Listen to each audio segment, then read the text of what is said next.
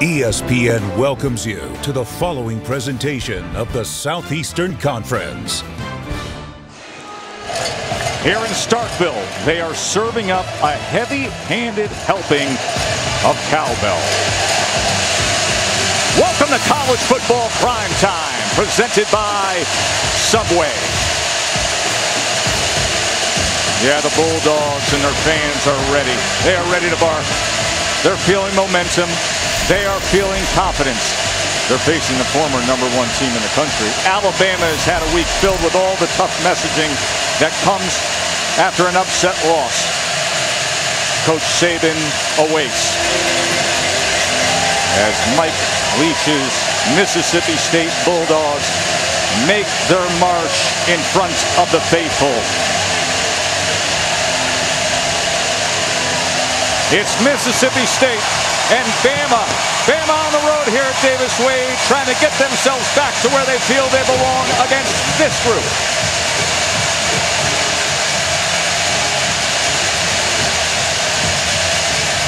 Good evening, everybody. Joe Tessitore alongside my partner, Greg McElroy. And let's start with this. Yes, Bama a week ago tonight got punched right in the gut but they control their own destiny. And Coach Saban and some of the most vocal leaders on the Tide have been hammering home the message all week. Focus, consistency, and asking yourself, how much do you respect what it takes to win? And Nick Saban started the message in 2007 when he arrived.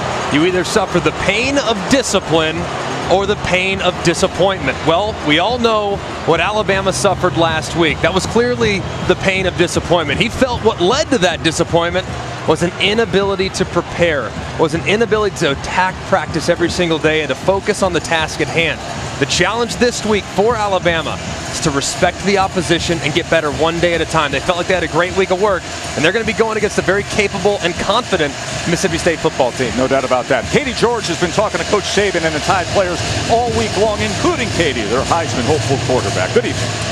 Well, Bryce Young echoed the same sentiments as Nick Saban. He said one loss does not define us. We can still accomplish a lot of things, but we have to play more consistently, and that starts tonight. The concern is Alabama has struggled to play well on the road this season. Nick Saban said his team did not handle the crowd noise well at the swamp. There was improvement in College Station, but still glaring errors. And this place, it's not lacking in hostility and noise either, guys. This is my first time in Stark Vegas. The cowbells are deafening.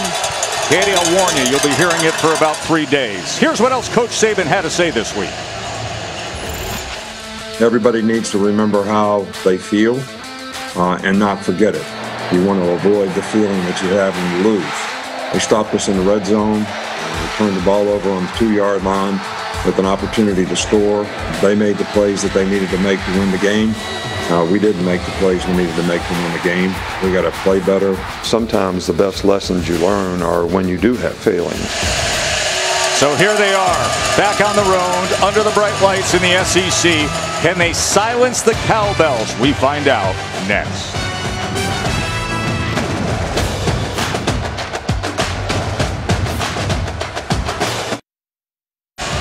You're watching the SEC on ESPN.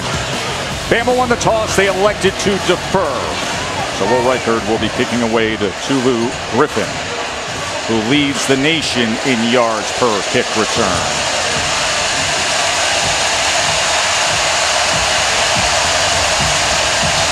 Two hundred game at Bama for Coach Saban. 175 of those wins. Will Rogers, 12th start of his career, Katie. Well, I asked Will what his mindset has been prepping for Bama this week, and he said, for starters, I don't call them Bama. That's what they want. He said, we're playing Alabama. Don't feed into the intimidation factor. And he said, in no way am I letting the fact that we beat Texas A&M and then A&M beat Alabama give us any kind of extra false confidence for this game. He said that's a trap mindset, and Rogers wants no part in it. That was a big part of what we heard this week. Don't worry about that logo on the helmet. Yeah, you got to beat the player. They put your pants on just like everybody else. That air raid attack. Rogers with time, and he gets it complete. His first of the game goes to Walley. Jaden Walley who was the leading receiver last year. And what you're going to see is some tempo from Mike Leach's team. Not crazy hyperspeed tempo like you saw at Texas Tech and Washington State, but they'll ramp it up against a defense that got beat up pretty good last week against the Aggies. 11 yards on that first pass of the game. There's a short pitch to Johnson. You know the role the running backs play in this offense. Marks and Johnson will see tonight. He averages less than 30 yards per game. Will Anderson, the very vocal Will Anderson this week with the tackle. You see Mike Leach, he's obviously got a tremendous track record. The guy wins everywhere he goes. And they are heading in the right direction here in Starkville. Second and nine for Rogers. Pressure comes from Anderson. He dumps it down to Johnson. It'll be a third and short.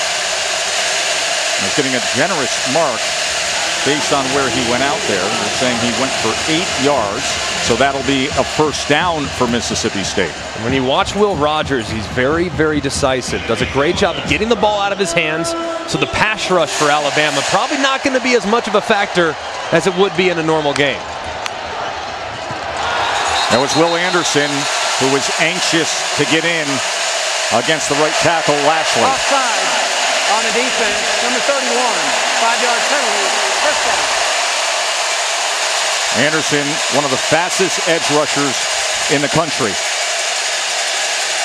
Guy this week who was stressing to his teammates, we have to regain focus. We have to pay attention to the small details.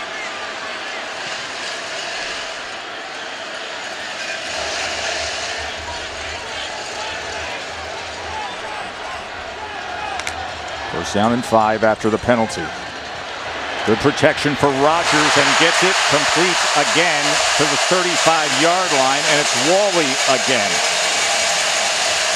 Great job there by Will Rogers working the over route. You see his eyes on it all the way. Finds the hole in the zone right in front of the safety, and a great catch by Walley over the middle with contact coming.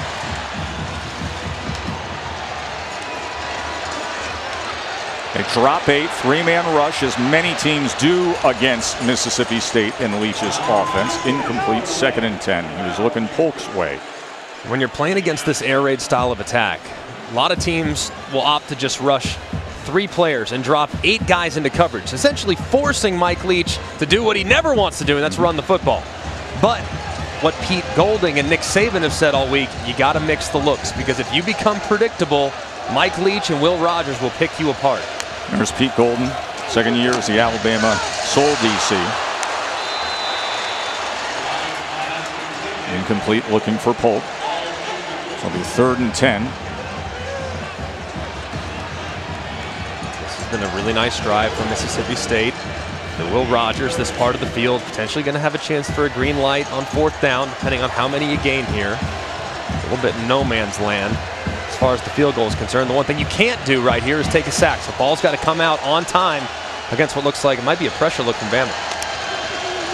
The pressure off the edge as they come with it. He gets it out, and that ball is intercepted. Josh Jobe with the interception for the tie.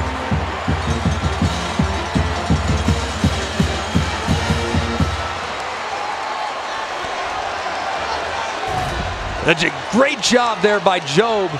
Pressure coming off the left, and he just falls right out underneath it with tremendous eyes. They kind of clouded that side, gave him a quick jam, thinking he's going to potentially get the hitch, just not on the same page. That hitch converts to a fade. Excellent play there by the corner, putting a stop to what was a relatively promising drive from the Bulldogs. So after the turnover, here's Bryce Young, the Heisman frontrunner for most of this season. And they go straight ahead with Brian Robinson, the senior from Tuscaloosa.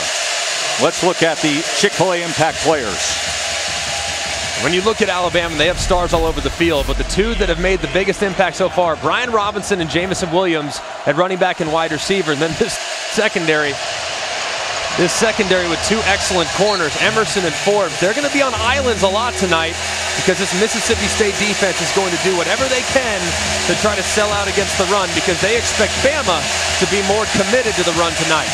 Slade Bolden with the five-yard reception, third down and two for the tie.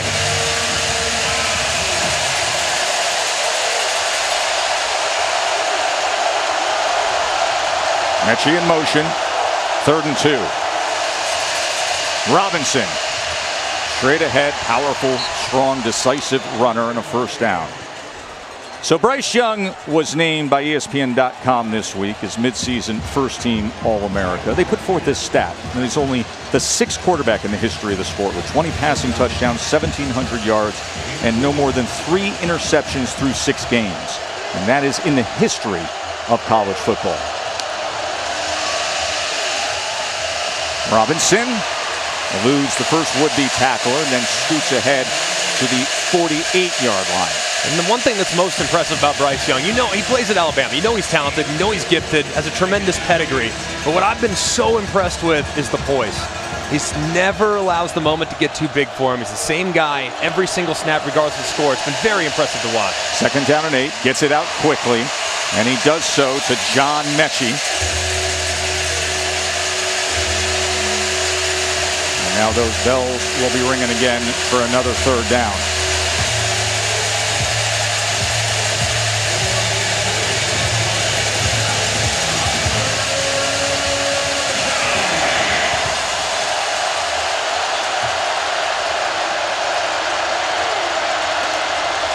Third and two. Pressure on Bryce Young, and he gets it complete to Metchie for a first down and more. And with a blocker in front and Slade Bolden inside the 10 and into the end zone. John Metchie with a 46-yard touchdown. And what a job with the yards after the catch.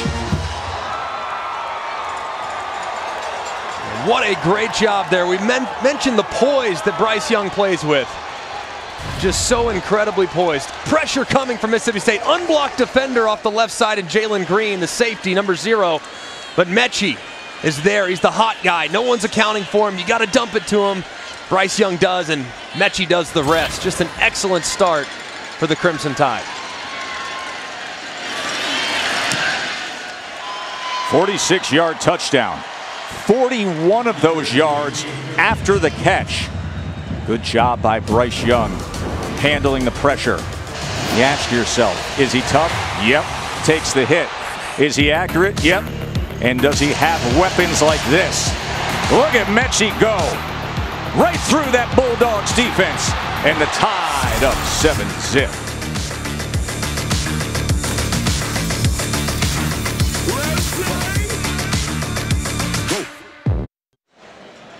So John Metchie just scored a touchdown. That was Bama's first offensive possession. Good things typically happen, right? 45 of the last 46 they've won when they score a touchdown on their first offensive possession. Put a line through last week. Last week is the one blemish, but that's what this game is about. It's about forgetting last week at A&M, and Metchie is off to a good start in helping them do that. Griffin won't have a chance again. All right, so Will Rogers back out there. Familiar name, of course, in American history. There was the great actor and columnist who said, I never met a man I didn't like. Well, football coaches have liked this man, the other Will Rogers. In fact, he was a star in high school, the same high school that Gardner Minshew went to. And it was Rogers' dad who was the offensive coordinator there. And this guy likes him too. First true freshman quarterback, in fact, to start for Mike Leach. That was a year ago. This the 12th start of his career. On the opening drive, he came out and he was 3 for 3 passing. Then he went 0 for 3 and just threw an interception. With time, he's going to check down to Woody Marks. Woody Marks catches a seam and will have 12 yards and a first down. Henry To'o To'o came up with the tackle. And one thing about Rogers, too, as a true freshman, man, you're just thrown into the fire. And last year was not even a normal year. And to learn an offense like this, it's purely repetition-based, so difficult. He's performing better and better each week. Shovels it ahead to Marks. Marks looking for blocks, and he surges ahead for eight yards before Christian Harris makes the tackle. Their most productive inside linebacker from last year's national championship team. Those inside linebackers have come, to, come under some scrutiny a little bit. Both him and To'o To'o haven't exactly been off the charts good. Have had a lot of mistakes, but Nick Saban very confident in their abilities, just have to be more fundamentally sound at the second level defensively, which is such an important part of this defense. Second and two, and keep it on the ground with Marks, and they'll have the first down. Well, guys, following the loss last week, Henry To'oTo'o called Jordan Battle to discuss how the two could be better leaders for this defense. They talked at great length about being more vocal, getting everyone on the same page, and ultimately keeping this group together. Battle said when we're all on the same page, we're a great defense. That pick was off to a great start. It was interesting to hear from all the Tide coaches and players this week about who was vocal, who are the leaders, and so many players that don't have a lot of experience within the Alabama program. So many of the star players are the younger players, guys like Will Anderson, guys like Bryce Young. And it's kind of a difficult thing, and regardless of where you're at, whatever the standard may be, when you're a young player and you haven't played a lot, it's really tough to speak up. It That's doesn't right. matter. You might be the most gifted player in the country. Bryce Young might win the Heisman Trophy. And yet it's still sometimes difficult to get up there in front of the room and take charge of the room when you haven't been there that long. But these guys are growing and maturing, and the leadership will come as the season goes along. Second and 10. There's the slant, and it's incomplete. Heath couldn't hold on to it. To that point, Will Anderson said, Hey, listen, after the close call against Florida, he put forth the message, and he felt like the message clearly wasn't taken seriously. Yeah, and that's a little bit frustrating, I think, from Nick Saban, too, because I think a lot of the guys thought, or at least a lot of the people close to the program thought, that that was the wake-up call that the program needed. However, of course, fast forward a couple weeks, you play an emotional game against Ole Miss, you come out flat the next week and get beat. Third down and 10. Opportunity for the Tide defense. Rogers gets free. Can he get to the line again? Great effort to dive ahead. And with that spot, they will move the chains. Good burst from Will Rogers with his legs. Very nice from Will Rogers. Excellent job. Just a rush three, has a lot of time. It moves up in the pocket. As soon as those linebackers get too much depth, take off. He's a good athlete with the ball in his hands. Maybe not quite as athletic as his wide receivers, Calvin and Polk and, and obviously Walley, but very capable in keeping the defense honest with his legs. Able to get past Dallas Turner on the Tide defense there. First down. Trying to extend the play. And he's able to get it complete to Heath on the near side. Speaking of Dallas Turner, that's a concern for Alabama because Chris Allen's an all SEC performer. He's out for the season as the Sam backer, the outside backer. Drew Sanders, his backup, is out second game in a row after hand surgery. So they're down to Dallas Turner, who is a big recruit, but doesn't have all the experience yet. A really talented player, just inexperienced and young. And is going to have a couple growing pains in a very important spot on that defense. Second and three. They go with an inside screen to Heath. Well blocked and another first down for Mississippi State. And I really like the tempo that Mississippi State is playing with right now. They're also doing, I think, a really good job of changing the looks for Alabama. You're getting a little bit of the run play, some of that little shovel pass draw. You're also stretching Alabama horizontally, which I think is really important because of how good and athletic Alabama is. Getting them running sideline to sideline is to your advantage as an offense. Well, Nick Saban focused on that this week. He said it was one of his big concerns. Rogers checks down to Marks. He only gets a yard there because Saban said, and when you play this kind of team that can go side to side quickly, tempo, and pass the ball constantly, you're running down the defensive linemen. You have to rotate more of them when they're constantly dealing with the short perimeter passes. And this is, I think, a really difficult part of playing this offense is that Mike Leach, Mike Leach is going to make you cover all 52 yards of field. As you take a look at the hit, Nick Saban saying, hey, hit with your head up a moment ago as Jobe ducked his head, but no targeting. Josh Jobe, who had the interception earlier, that is well overthrown of Malik Heath to the outside. It'll be third down and nine. It's a couple times now where Will Rogers hasn't been on the same page with his wide receivers on the fade route. That's such a huge route in this offense. His receivers have released inside.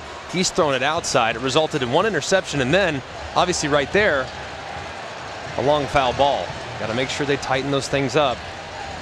Because if they can't hit the fades, then Alabama's going to continue to get aggressive at the line of scrimmage all night long. Will Anderson. See if he can get after Will Rogers here. Has 11 TFLs on the season. Third in the nation, most in the conference. Third and nine. Incomplete. Beyond Polk. Makai Polk, who's had a sensational season. Came up huge in the upset at A&M a couple weeks ago. but they couldn't connect Rogers and Polk. That was a good route there by Polk. Ball just a little high on Will Rogers. One that he'd love to have back because that was an opportunity there for the conversion. So Brandon Ruiz comes on. He's been out of action since September 11th. Hasn't kicked since the NC State game. Has 10 career field goals in 12 attempts. This from 44. Right down the middle. Well struck from Ruiz. So Mississippi State gets on the board with a 12-play drive capped with a field goal.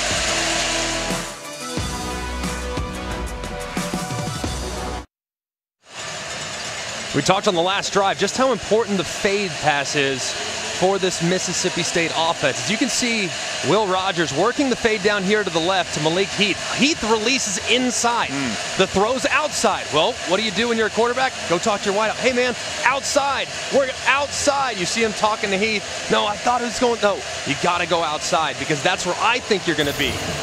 Just a great job there by the young quarterback, making sure that after a mistake and a miscommunication between him and his guy, let's go get on the same page. Let's talk about it so it doesn't happen again. You said how critical that pattern is in this Mike Leach offense. What a scene here at Davis Wade. Just a 90-minute drive from one school to the other. Jameson Williams has two kickoff return touchdowns earlier this year against Southern Miss. Remember, he had that opening one for 100 yards. He can blaze. Williams from a yard into the end zone. Williams. Oh, the kicker slows him down. And then he's brought down just beyond the 40. Let's go to the studio, check in with Matt and the guys. Hey guys, good evening. Time now for your All-State celebration moment. Zeb Noland came in in relief for South Carolina threw the game-winning touchdown with under 40 to play. Cocky gets by Vanderbilt 21 to 20, keeping to Carolina's Cedric Gray.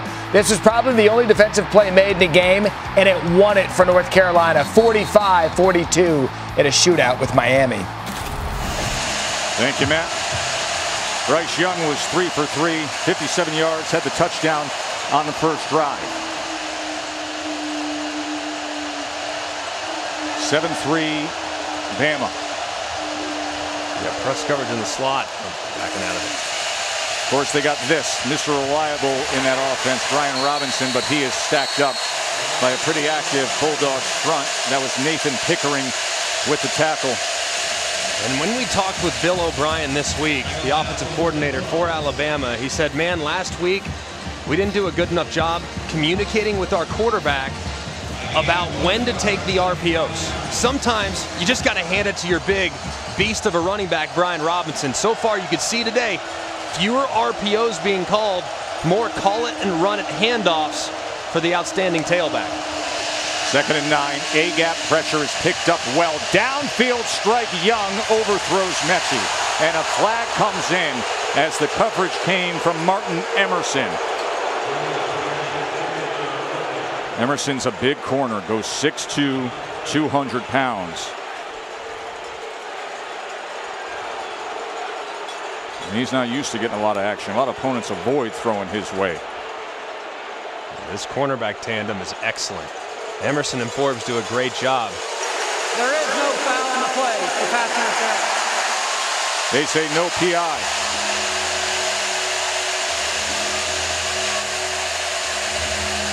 So they're going to walk it back. And that'll make it a third down and nine.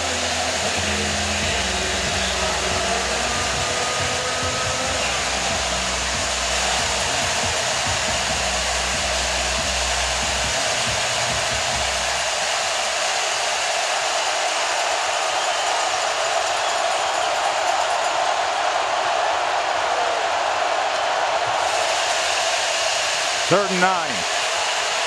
Young scrambling, and then Young is driven down by Nathaniel Watson.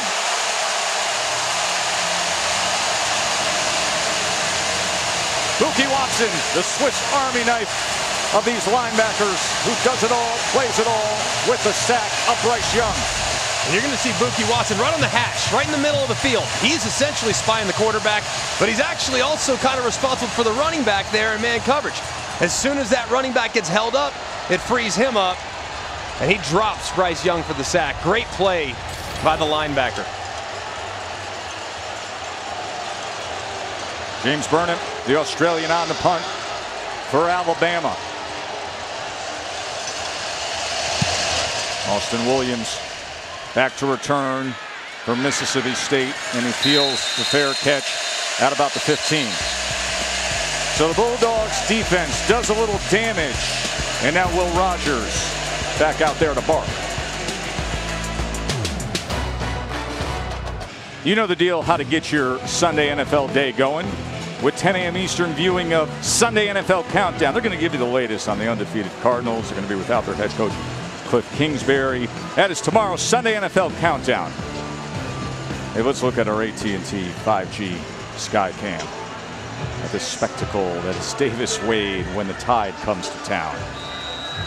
And put in over 61,000.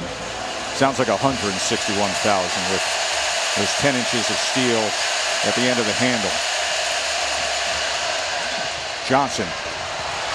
That's a good run when it comes to this offense, isn't it? Dillon Johnson as he goes ahead for nine. Yeah, it's amazing to see just how unwilling Mike Leach is to try to run the football from time to time. he does not like it. I've talked to Dana Holgorsen, a bunch of guys from his tree, Lincoln Riley. They all say, yeah, Coach Leach kicked us out. We're, we're not in the air raid family anymore. we run the ball too often. It's funny, man. He's done a heck of a job, though, everywhere he's been. There's the slant as he was looking for Austin Williams. And that is incomplete. Third down and one. Of course, the quick strike passing game and utilizing both these running backs is just an extension of what he would consider the run game.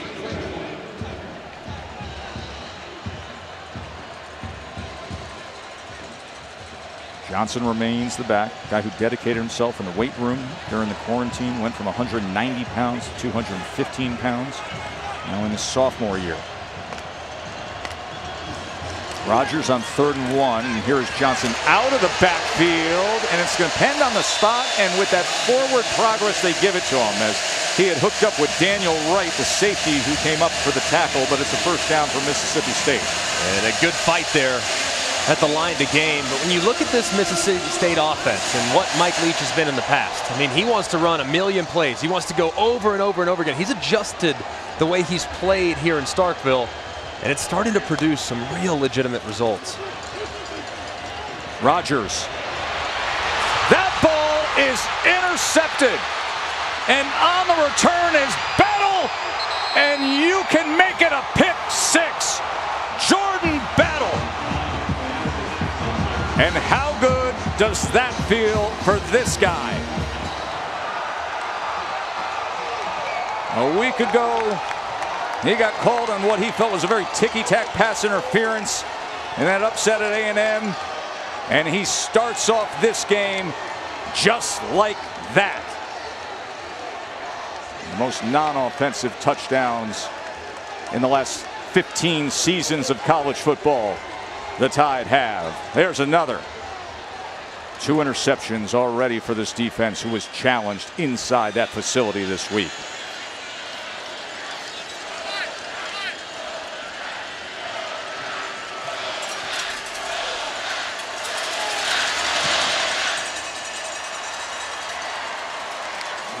When I first saw that throw, I felt like Will Rogers just a little bit late, but when I looked at his feet, it's really not too bad. He hitches twice, would like to have seen him hitch once.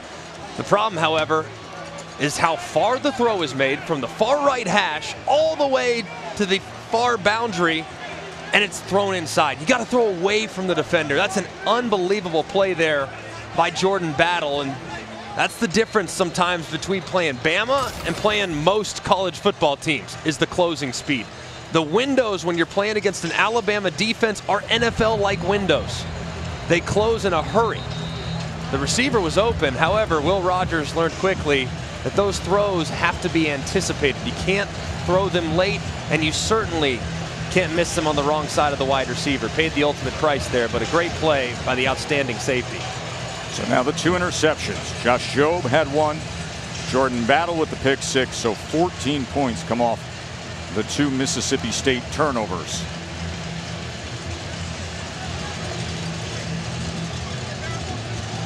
Nick Saban talked all week long about keeping the right headspace. All that rat poison he loves to reference. Now, now you got to stay focused. You got to preach being in the right frame of mind, being able to execute. This defensive backfield has early on for sure. Let's get an update with Matt. All right, guys, been an interesting day for the Big 12. Iowa State, one of the trendy picks to start the season, three and two. This is the first offensive play of the game against Kansas State. Breece Hall, 75-yard touchdown.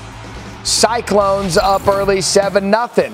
What about the ACC? Devin Leary to Devin Carter. Which Devin you like more? My vote goes to Carter. NC State up early on Boston College, seven nothing. Incredible concentration there by Carter as the ball was right in the small of the back of a Boston College defender, and somehow he got it in for the score. Rogers absolutely swarmed. Byron Young with the sack. And now this defense is firing off every which way. And right there, Will Rogers thinks he's able to work right into the pressure. However, it's a great job again by the safety, Daniel Wright, cutting off that slant. And had he thrown it, it would have resulted in another interception. So actually, I know the sack, not what you want if you're Mississippi State, but it was a far better decision there by Rogers to hang on it, take the sack, and live to play second down. Second and 15. Gets this complete to the 29-yard line as he goes to Makai Polk. Junior who originally recruited to Washington State, but Polk went to Cal. Then he said, you know what, I think I do want to be part of that air raid. So he made his way here. He transferred from Cal this past spring. He's done a great job, too. I mean, being that receiver on the right side, oftentimes a lot of individual opportunities where he has to win one-on-ones, and he's been able to make them more often than not these last few weeks, really coming on strong and developing chemistry. They're down in five. Look at all the traffic and congestion coming in with Christian Harris smashing down Will Rogers, and Rogers is clearly banged up. Sacked two times on the last three plays. And he is in a lot of pain. See him reaching up towards that right shoulder. And hope he's okay, but this is on the offensive line, man. I mean, you give up big pressure right in the inside gap to Brian Branch. And then obviously Harris is there to clean it up. As you can see, Rogers grabbing at the right shoulder. That is obviously very concerning for Mississippi State. Archer Trafford on to punt. JoJo Earle, the extremely dangerous freshman, is the return man. As Trafford has this bounce outside the numbers, plays a little keep away from the freshman from Texas. Week six Monday Night Football. You get to see Josh Allen and the Bills. Great looking team against the Tennessee Titans, the AFC South leading Titans. That is 8 Eastern on ESPN. Monday Night Countdown begins at 6 p.m. There's Judy Rogers, and you can see the look of concern on her face after her son Will was just sacked hard into the ground and came off in pain. Young to pass on first down. Robinson out of the backfield. Spins for a few extra yards. Tackled by Forbes. And this is imperative for Mississippi State's defense. I mean, they have to, have to hold Alabama to at most a field goal on this drive. Your quarterback just went off in pain. They're looking at his throwing shoulder. You cannot give up a touchdown here. Second and six. Robinson is going to cross midfield and have the first down. Local Tuscaloosa phenom. Growing up, he was always the best player around, best athlete, the locals always say. He was in seventh grade. He was already strong enough to dunk a basketball. 6'1", 225 pounds now as a redshirt senior. He's transformed his body, man. I mean, he looks tremendous, loose, and has been excellent for the Tide this year. Couldn't wiggle free that time. As immediately he's brought down by Jack Harris.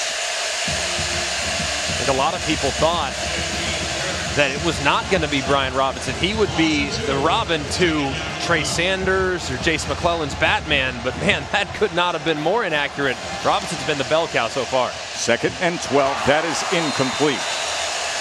He was looking for Latu.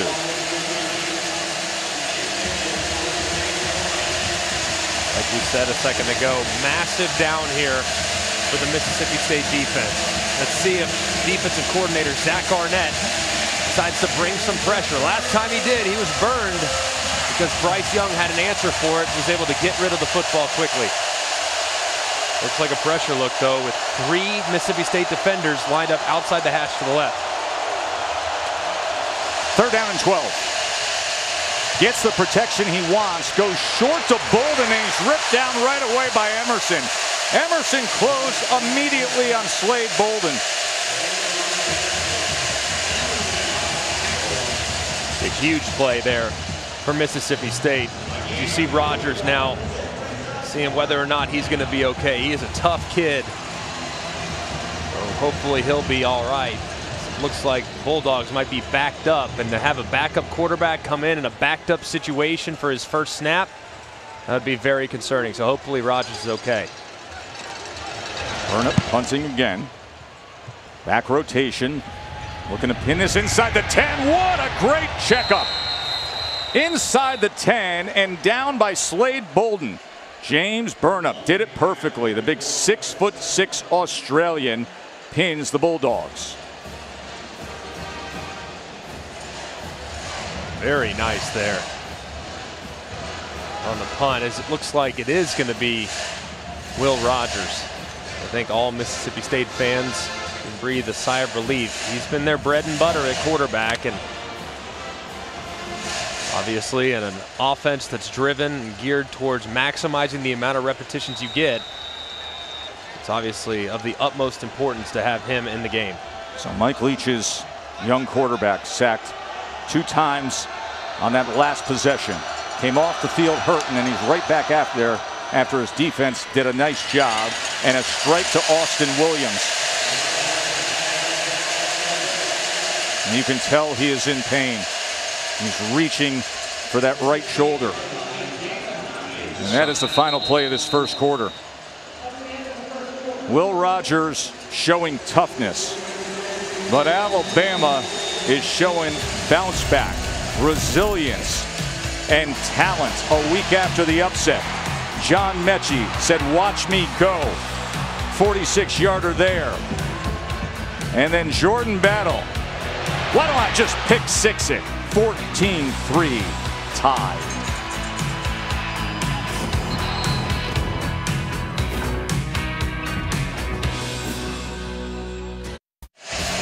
Glad you're with us watching the SEC on ESPN. You can sign me up for some Two Brothers smoke meats anytime you want when you're in Starkville.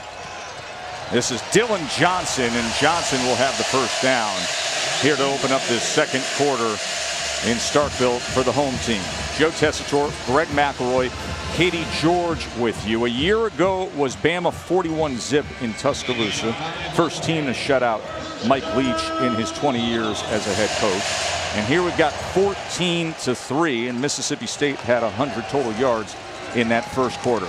Will Rogers pumps and survives that as Will Anderson couldn't take him down and then gets it complete to Polk for a first down. Anderson was clawing at Rogers' legs. Rogers somehow survived it, and you can see him still dealing with that pain. As you see right here, a good job of evading Anderson and keeping your eyes downfield. But how about the grimace after the fact? Makes a nice throw and then grabs his shoulder, man. That's something to keep an eye on all game long. This kid is tough as nails.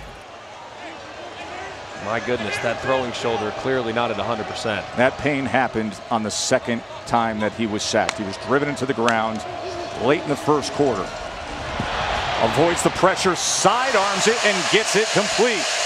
That's Tulu Griffin, who's the fastest player on the team. Some around here say, hey, maybe the fastest player in the SEC.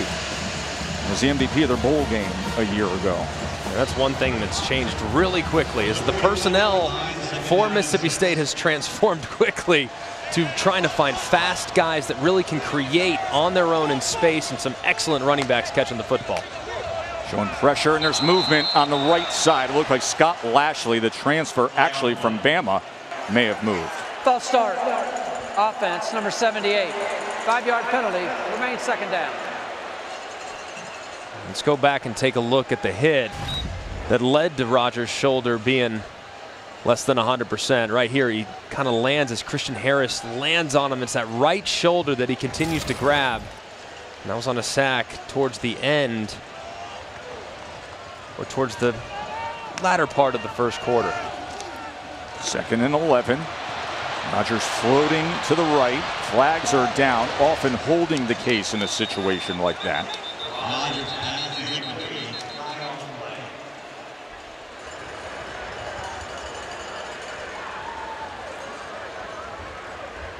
Year number two for Mike Leach, two-time National Coach of the Year.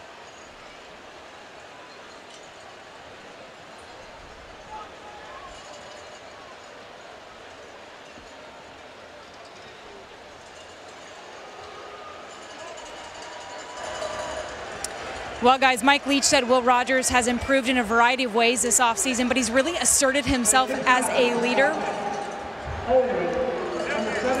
What better way to continue to gain the respect of your teammates as the leader of this team than playing through this pain? And that's a big part. I mean, much like Bryce Young, we talked about a little earlier. I mean, it's tough to get up in front of the room and to be the alpha dog when you haven't played that much. And he's growing, and he's learning, and He's working incredibly hard and has a great feel for the offense. Now, you talk to Mike Leach, most of the guys that start for Mike Leach have been in the system three or four years. You look back, Texas Tech, a lot of those guys didn't start in some cases till their fourth or fifth year.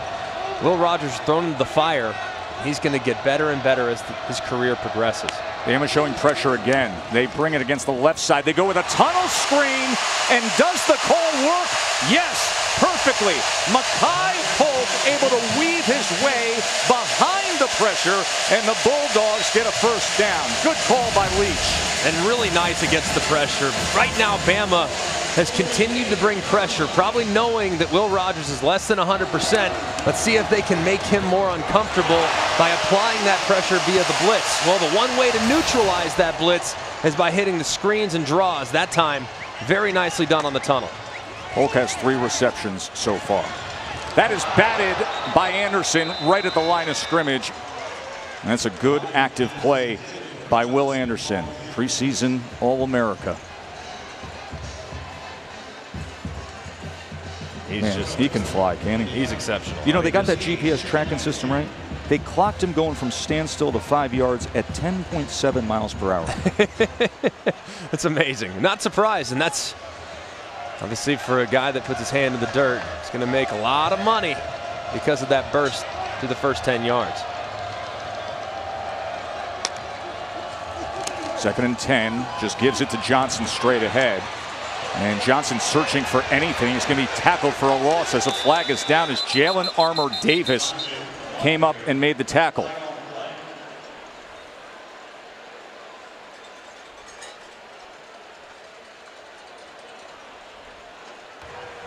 Holding on the offense. 10-yard penalty from the previous spot. Replay, second down.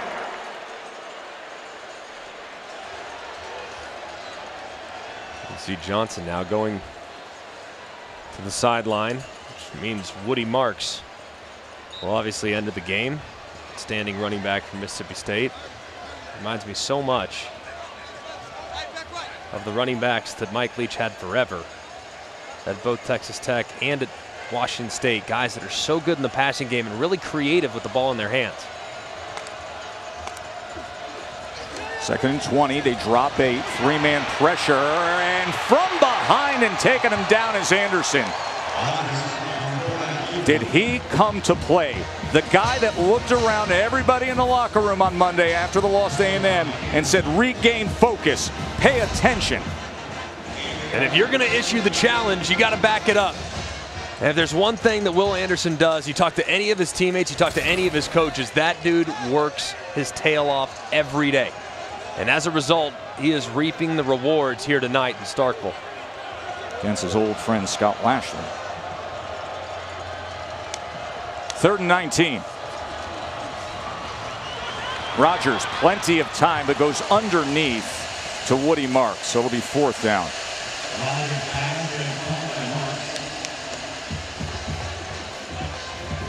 Rogers, you can see favoring that right shoulder, will trot off. Saban's defense playing with some fire tonight. Archer Trafford on. He was born in Budapest, Hungary. Trained eight years in the World Archery Championships. JoJo Earle, the deep man's going to put his heels on the 10 yard line for Archer's punt. As it angles outside the numbers and runs well out of bounds. More to come from Starkville when we return.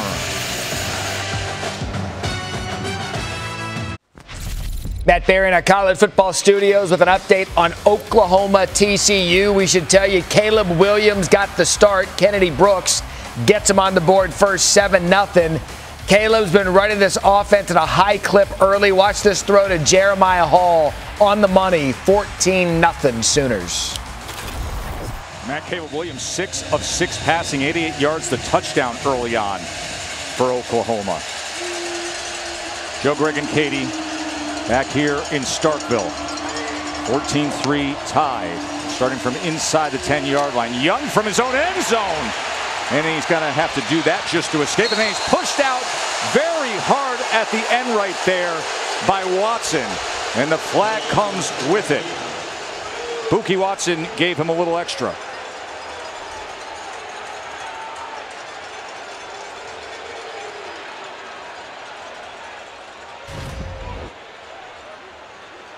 I just don't know what Bookie Watson was thinking there.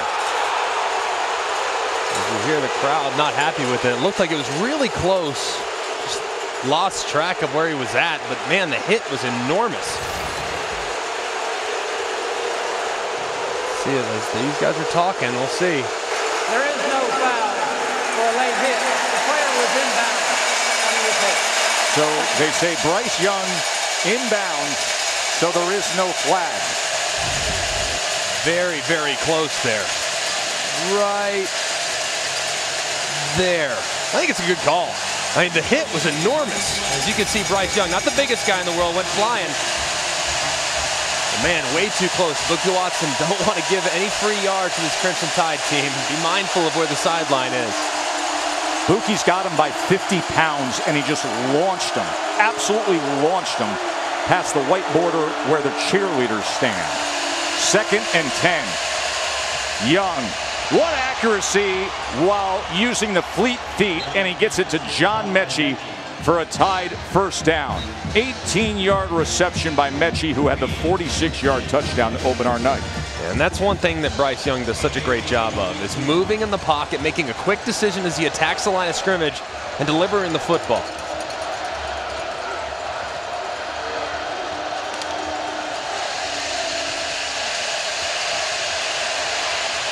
Goes back against the grain, incomplete. Well, you know the starts of the season that Bryce Young had. He's number three nationally in touchdown passes. Just sensational. Over 1,700 passing yards. Of course, last week the loss at A&M. It was interesting last week because he was off to such a good start. And ESPN Stats and Info said last week he threw more off-target passes than he did in his first five starts combined. Threw 13 off-target passes last week. As this goes to Williams, Williams is corralled. Of course, Williams, the speedy transfer from Ohio State. Going to be third down, and it's going to be cowbells up. Emerson with the second down tackle.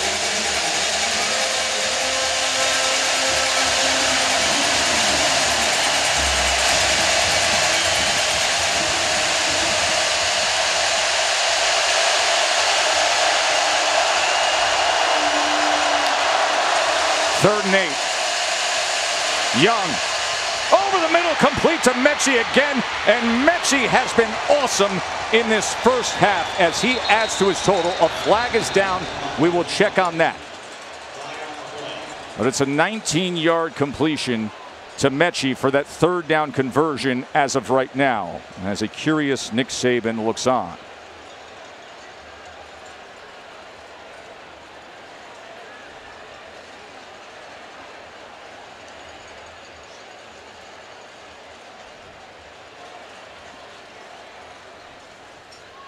Might be getting Jameson Williams with a block in the back. Yeah.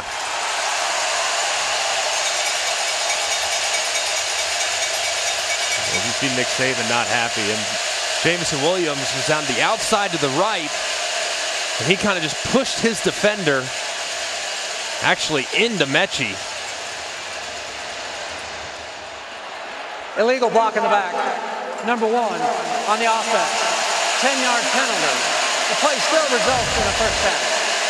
As you can see up top, watch him up top. And he just pushes Emerson from behind right into Metchie. I'm just well, I'm to no advantage. I don't know why you would do that. There is no advantage with the penalty. He pushed the man into the ball carrier. Still results in a first down, but not a very smart play there by the transfer from Ohio State, who's been electric here in the first half of the season with the ball in his hands and beating people over the top. So with the spot foul, it is still a first down for Alabama.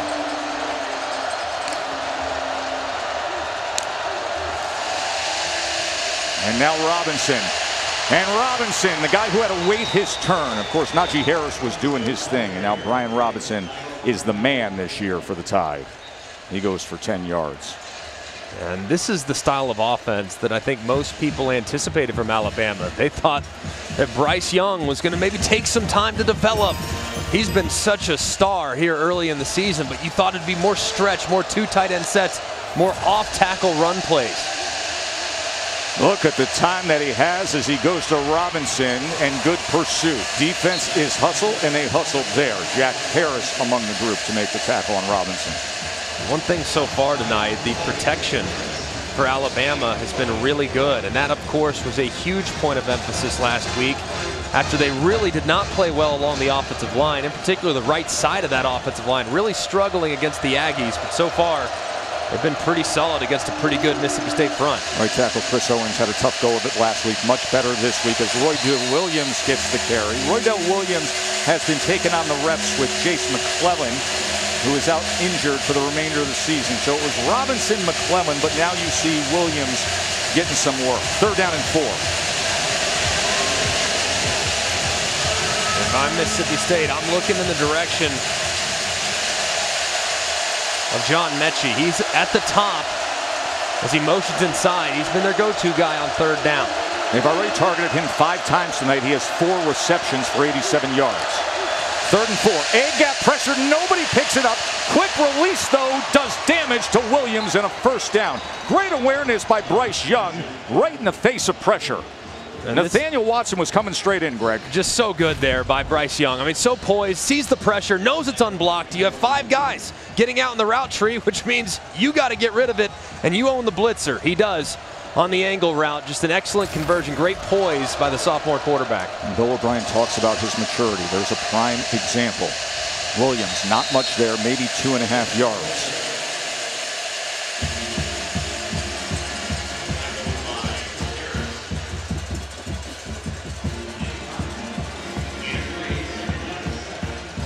see a young player have such good feel for protection, such good feel for when there's going to be unblocked defenders. There's very few that do it better than him, and to think he's only 19 years old is pretty remarkable.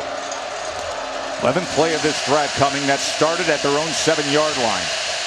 And now they're inside the 30 as Metchie with yet another reception. They are having a matchup problem trying to stay with John Metchie. And I love talking to Bill O'Brien this week saying, you know what, right now we're targeting Jameson Williams and John Metchie a little too much. We got to spread the ball. I think he's going back on that. you see, the plan so far is to find isolations, find the opportunities for John Metchie, and he's responded. 97 yard first half already. He's digging ahead to the 26-yard line. For four yards is Robinson. I think that's part of what makes playing this offense so incredibly difficult. What do you want to take away? You want to take away the run game? Fine.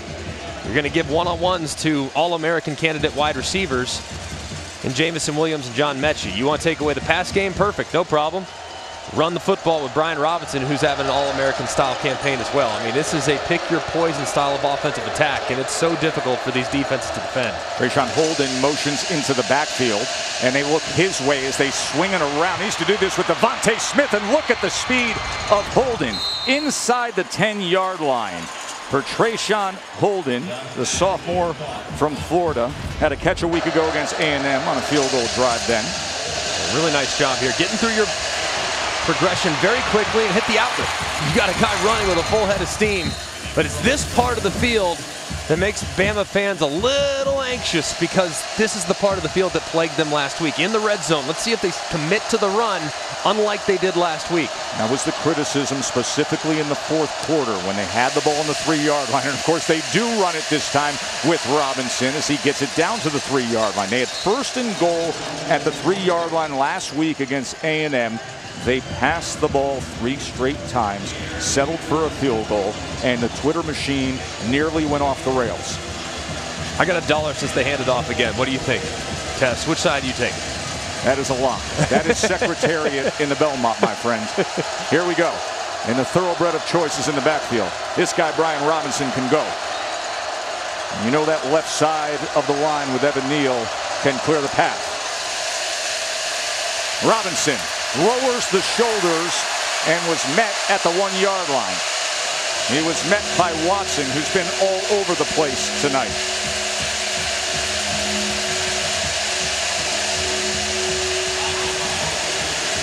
I think you have two downs still. If you're Alabama, you have two downs to get it. Right now, looking like an empty formation. Let's see if they motion Robinson back into the backfield. He's split out up top. Here he comes. Exactly what they do. Third and goal.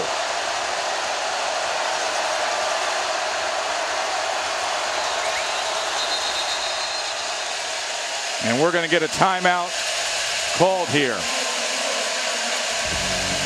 What will the play call be on third and goal when we return to Stark Vegas?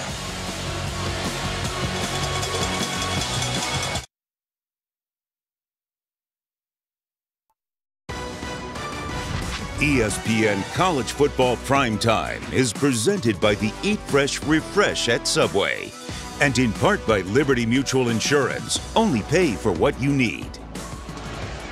Sylvester Croom, the Alabama legend who became the first African American head football coach in the SEC when he was here at Mississippi State, and then beat his alma mater, his alma mater, beat Bama back in 07. That is the last win Mississippi State has had against Bama. Of course, Greg, you are backup quarterback on that Bama team.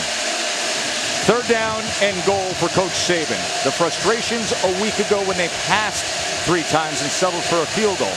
Here they have been giving it to Brian Robinson. What are you looking for here, Greg? I think you challenge your offensive line all week. You say, hey, when you get down this part of the field, it's on y'all. We're going to hand it off. We're going to hand it off. I expect to see two more runs if they don't get it on third down. Out of the I formation, Robinson right in. Touchdown tie. That's the way you do it when you're built by Bama.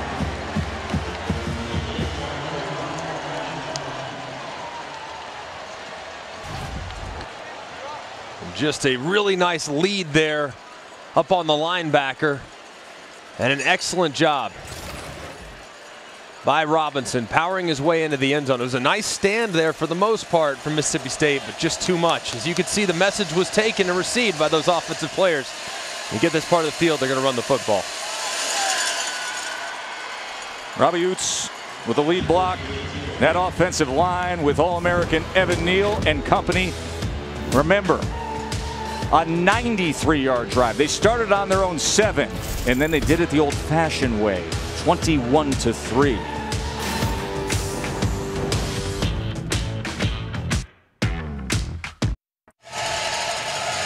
Taco Bell welcomes you to the Live Más Student Section of the Year contest. Use hashtag student section sauce. You can get the committee's attention. Go to espn.com slash Taco Bell and you can see how your school can compete. Of course, this crowd loves to compete on Friday afternoons when they have the land rush at the junction to see where you get your tailgate spot. And they know how to do that really, really well.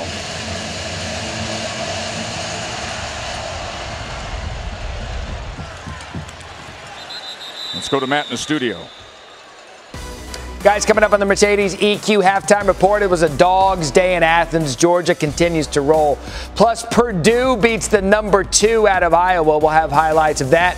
And Caleb Williams, QB1 for Oklahoma. They were rolling early. We'll have highlights of Sooners, TCU, Jess Palmer, Joey Gallo joining me coming up. So the air quotes number two team in the country, Iowa, loses by 17. Cincinnati was number three. They rolled, and here's the Tide up 21 to 3. I, these numbers next to names right now, when these CFP rankings come out, I think things are going to look very different. Will Rogers on first down. Sent back by Anderson and has to burn it. Tess Greg, Will Rogers continues to speak with athletic trainers and the team doctor in between drives. He's continued to stretch his right arm while getting some throws in as well. I've seen him wince, grimace while doing so, so it's something he's definitely still dealing with. As you can see him grabbing that shoulder. They just dropped the flag. They talked it over. Intentional grounding on the offense. Number two. It's a spot foul. Loss of down. Second down. There was nobody over there. He went straight back. Wasn't outside the tackle box, and Will Anderson was coming at him. Yeah, and the ball never crossed the line of scrimmage either. So it was basically there's ever going to be an obvious intentional grounding, this was the one. It was a great job by Will Anderson applying the pressure on the TE. He beats the right guard, forces the ball out of Will Rogers' hands a little bit too quickly. 31's been a monster tonight. They got to find an answer for him because him working against Lashley, the right tackle, that's been advantage Alabama. Spot foul makes it second and 22, but he's going to launch for more than 22 downfield, and he's going to get it with Malik Heath. And just like that, clutching his right shoulder, the Bulldogs are on the go as Heath got it over Armour Davis. Just a great throw there, giving your wide receiver a chance. So often you see young guys throwing it way too far. He's obviously less than 100%. That right shoulder hurting him, but he gave his receiver a chance, and Heath made an excellent play on the football. For 43 yards. Three-man rush, tests the other side and gets it complete. And that's exactly what you were talking about earlier with Makai Polk and what Rogers was saying over on the sideline. 100%. The fade in this offense is as important as any throw you have to make. This time they opt to work the back shoulder, and he's on the same page with Polk. Really close there as the feet came down. It's a beautiful throw. 63 yards just on the last two passes alone. Inside screen, this has worked well previously, not this time at all as Josh Do Jobe takes down Polk. Jobe had the interception on the opening drive as well. And you wonder too with Rogers' shoulder, how much velocity would he be able to get on the football? Most of the throws after the injury have been underneath. The last two, that stretched the velocity, that stretched the distance that he could throw it. So clearly not limited right now with how far he can push it downfield.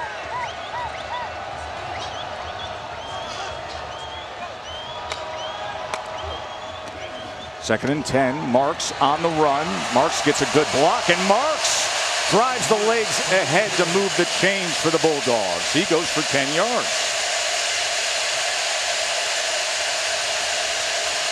Really nice drive so far from Mississippi State. Getting some points here would be massive to give them some momentum and life heading into halftime.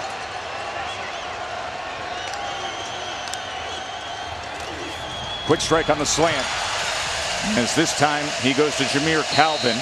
He's the transfer from Washington State who followed Mike Leach to Mississippi State and Rogers calls a timeout. He is wincing. He is in pain, but he is tough, gutsy, and bringing his team down the field as his mom looks on.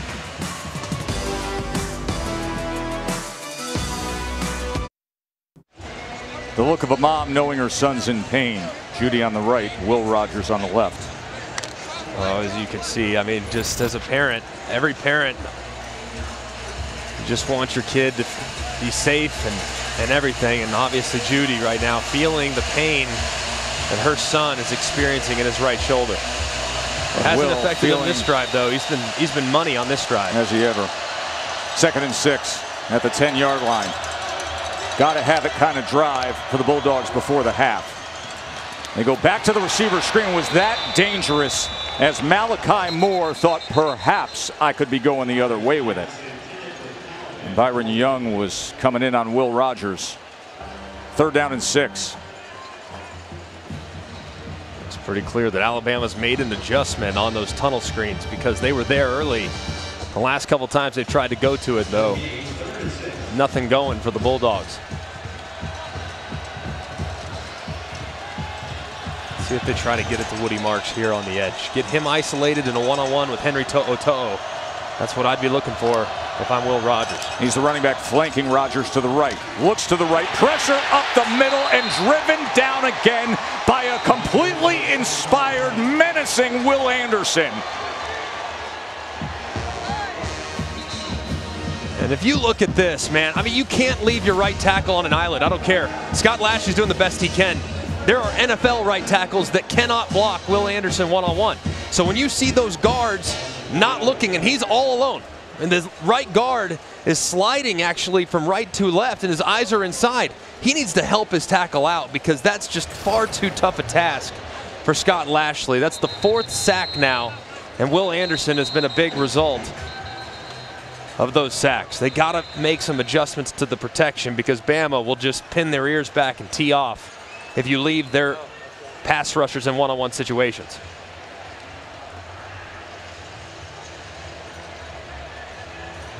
Brandon Ruiz will trot on. After a promising drive and gritty work from Will Rogers, but man, tonight it seems, seems like nobody can hang with the All-American Will Anderson of the Tide. This is going to be a 37 attempt for Ruiz, made from 44 earlier, and he puts it through. Probably going to take some sevens rather than threes if you want to threaten this Bama team tonight. Fighting spirit, that moment brought to you by Modelo. And how about the spirit of Will Anderson, just the tenacious pass rush all night long, working against his former teammate, the transfer from Alabama, now here at Mississippi State, Scott Lashley. I mean, they've tried to double team him occasionally, but it's just hasn't worked. They have no answer right now for number 31, and they need to find one because he's the type of player that can single-handedly take over a game, and he's done it so far in the first 30 minutes. Listen, the guy grew up with five older sisters. He can handle a lot. he says they pushed me more than anybody pushed me. And now he's been trying to push his teammates.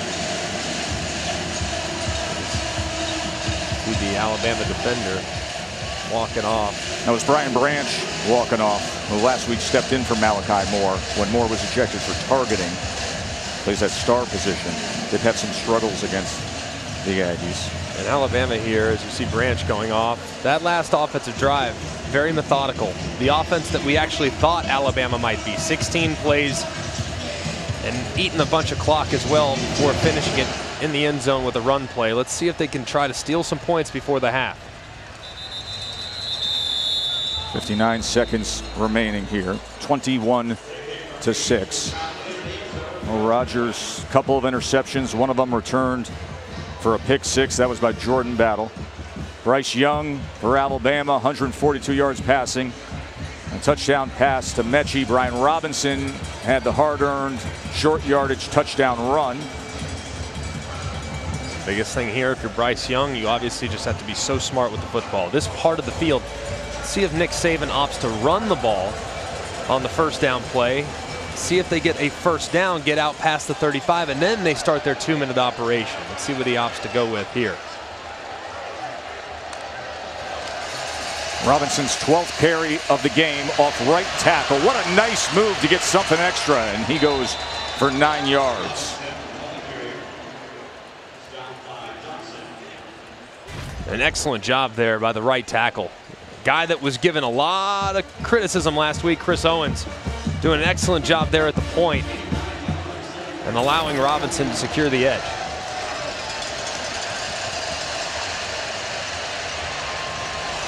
Second and one as Robinson is right on that line again.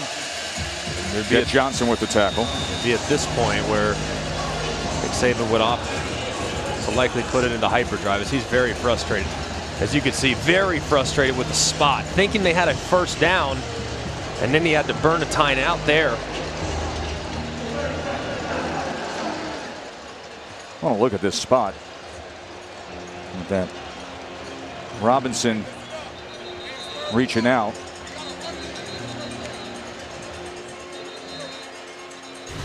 Let's take a look. Nice tackle there by Jett Johnson. Where is Robinson down? It does appear that that right elbow and the knees are down. Where's the ball at that point? I think if they reviewed it, wouldn't be enough to necessarily overturn. But expect Alabama to pick up this first down by trying to run the football, and then they'll get into their two-minute operation with a no huddle. Third and one because of that mark. So they give it to Robinson. Easily has it, and a heck of a lot more to the 45-yard line where Johnson takes him down. Here comes your two-minute. Clock stop for a half second. You got your play call already made. And Bama's ready to snap it immediately. Young. Incomplete. 24 seconds remain. They do have the one timeout. He's trying to connect with Latu. It's a big thing for Bryce Young here in a two minute. Ball's got to come out of your hands really quickly. Cannot hang on the football. If nothing's there initially, no problem. Throw it 12 rows into the stands. Come back, play third down.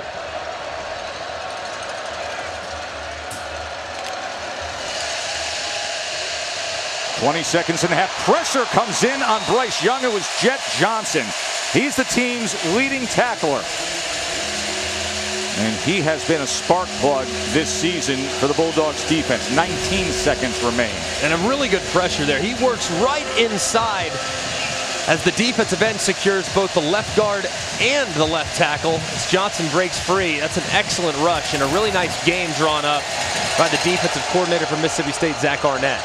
They're six of eight on third downs. Third down and 10. They go with Williams. Remember, they have the one timeout. And I'm surprised Mississippi State's not trying to take a timeout here and maybe try to block a punt. That's right. Those last seconds are ticking down. The question was, how would Bama respond?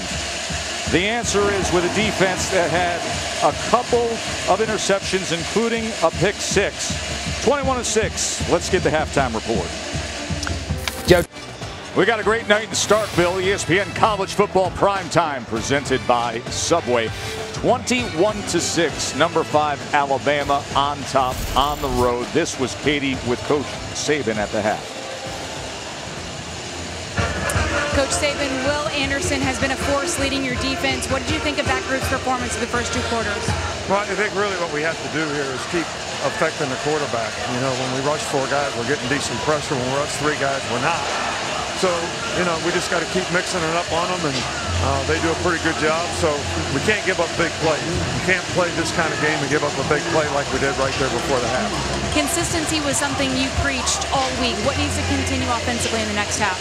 Well, you know, we, we need to do a little better. We're not running it very well. They got a good front. Uh, we've been effective throwing it. We put together a really good drive here to get to 21, so we just got to keep playing. Thank you for the time. All right, thank you. Says he wants to run it better. Robinson's got 57 yards. Bryce Young passing 142 yards and a touchdown. And they get the ball to start this second half. All right, so Saban says keep affecting the quarterback. Well, when you got number 31, you can affect the quarterback. Will Anderson's got four tackles. He's got two sacks, and he's got a pass broken up. He, has been unbelievable, absolutely unstoppable. And Mississippi State, my sole goal, if I was that offensive coordinator, Mike Leach, I would think I can't let 31 continue to get one-on-ones. I mean, it's been unbelievable. He's won almost every single one. It's resulted in obviously a very productive day defensively. And as far as the offense is concerned, I think Alabama's been pretty efficient.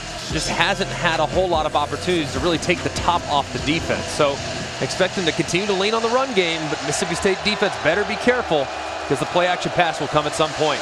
They're walking into the box, play action off of it. Bryce Young gets the quick strike to Williams. And when Williams turns the corner, look at this. He's gone. Jameson Williams. One play, one magical moment to start the second half. 75 yard touchdown.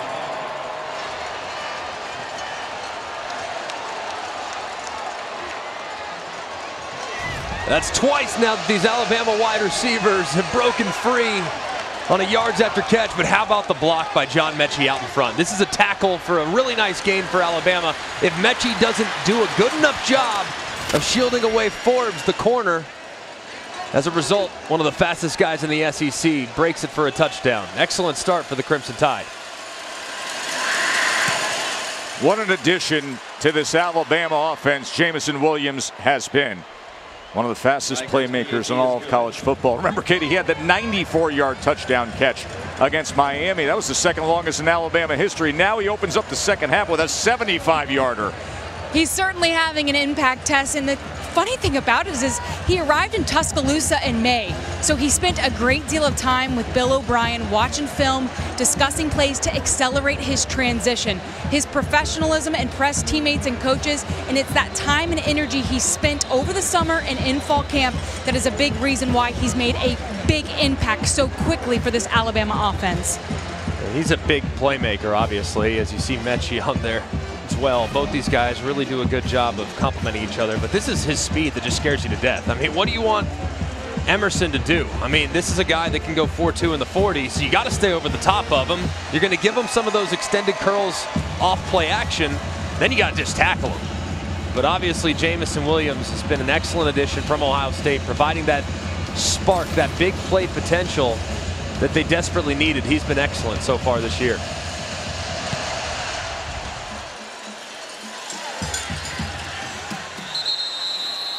Think about the recent run of Alabama receivers, the recent first rounders, and DeVonta and Waddle and Jeudy and Ruggs, and you get the transfer in and does stuff like that. First half stats are brought to you by PlayStation. Yeah, as you can see this, you see that. That obviously uh, 14 seconds added on that last That's Alabama right. touchdown drive. First half in 14 seconds. and, and both teams with 200 total yards in the first half. Of course, Alabama a little bit more, just a little bit more, I guess, balanced, for lack of a better word. Both teams relying heavily on the pass, but Mississippi State, now how do they answer after Alabama was able to put together a beautiful start? What do say about you're going to need more than threes? A couple of field goal drives. They were grinding things out and getting gutsy as they go to Jaden Walley here. And Alabama just does that 14 seconds against Mike Leach's team. You don't need to change who you are. You just got to continue to play one play at a time if you're Mississippi State. Still be methodical. Don't need to burst into hyperspeed just yet.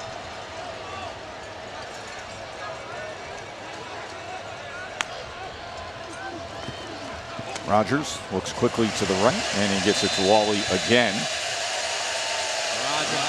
He was the hero week one with a late touchdown against Louisiana Tech. They trailed by 20 in that game in the fourth quarter, and then he put the Bulldogs up and rallying that comeback did Walley. I think he's going to be important here in the second half if Mississippi State's going to claw back in. These slot receivers have to win one-on-ones. Short pitch to Johnson on second and three. And with that, he'll have the first down.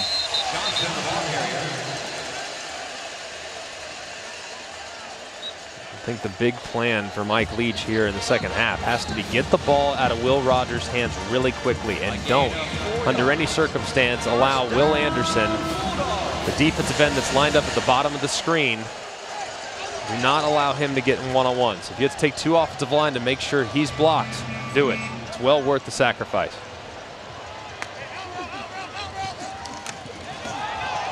Launch it on a go route. Some contact there as trying to make the diving effort was Tulu Griffin. And with that, the flag comes in against Jalyn Armour Davis.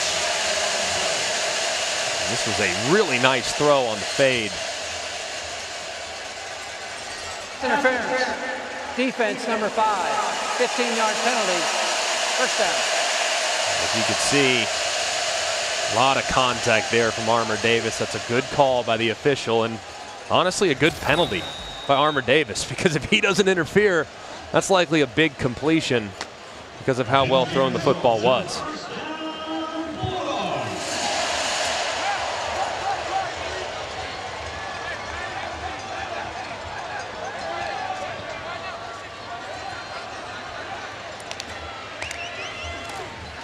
Rogers gives to Johnson again, and Johnson is tackled by Christian Harris.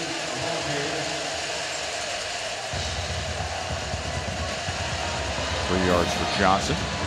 This is obviously a massive drive for Mississippi State. Not only did Alabama get points on their opening possession in the second half, you have to answer, you have to re-engage this fan base and this crowd because it's awfully quiet. Most quiet it's been in here after that most recent Crimson Tide touchdown. Quiet is not a word you use often here in Stark Vegas. That will help get them going.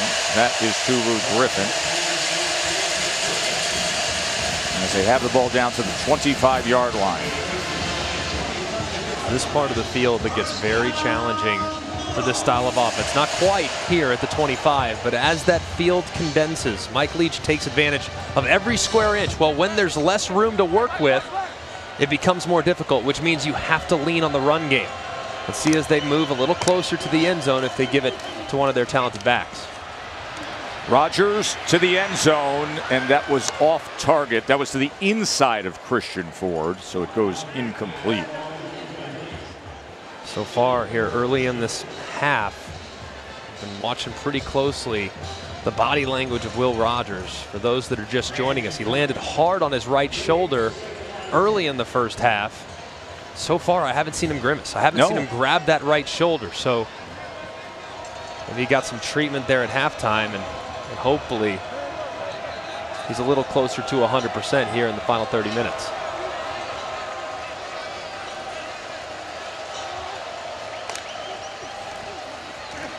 On second and 10, he was trying to get it Polk's way, and he just sails it away. And the third down. You can see no grimace from Rogers, but like I said, this is the part of the field where it becomes increasingly difficult when you're an air raid style offense. I don't think field goals at this point, Tess, throw them out the window. If I'm a Mississippi State fan, I don't want to see Ruiz anymore. Not because I don't love him, but because I know the only way back into this game is by scoring touchdowns. So I would expect two downs to get it here for the Bulldog offense.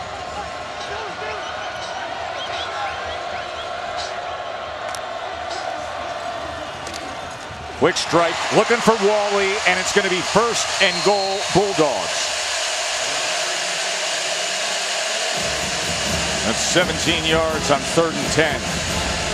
So far, Alabama's had a lot of success on third down, bringing pressure and playing man coverage behind it. That time, Malachi Moore just gets beat by the slot receiver Walley on a slant route. It's a beautifully thrown pass for the conversion from Will Rogers. Remember, Moore was ejected for targeting early last week against A&M on the fourth play of the game. He was missed. Got matched up in coverage there, first and goal. You got to challenge the defense in the run game here. You have to. They're asking for it with only three down defensive linemen. And that's what they do, and it doesn't matter at all. Anderson was knifing in, as was To'o To'o with the tackle. The left guard there, number 58, Cameron Jones, just completely unaware with where To'o To'o was. You'll see To'o To'o lined up there just inside the hash. He's completely unblocked into the backfield. Just really poor job of communicating there along the offensive line, leaving the unblocked player free.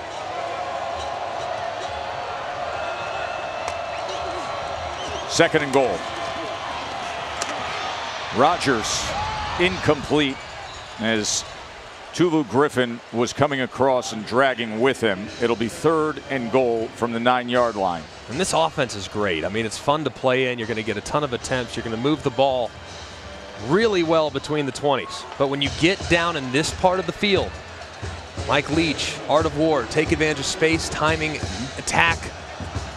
And that's exactly where this becomes incredibly difficult because you can no longer stretch the field vertically because there's a back of the end zone. You only have 20 yards to work with from this part of the field. So you have to stretch them horizontally, and there's less space for the defenders to potentially occupy. So they have to be able to run the ball down here, and nothing going on first down sets up them being behind the sticks. Rogers out the back of the end zone.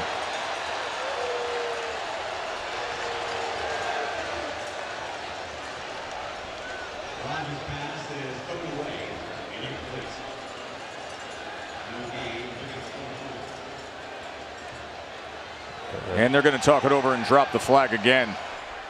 They had this conference Intentional before. grounding on the offense, number two. Spot foul, loss of down, fourth down.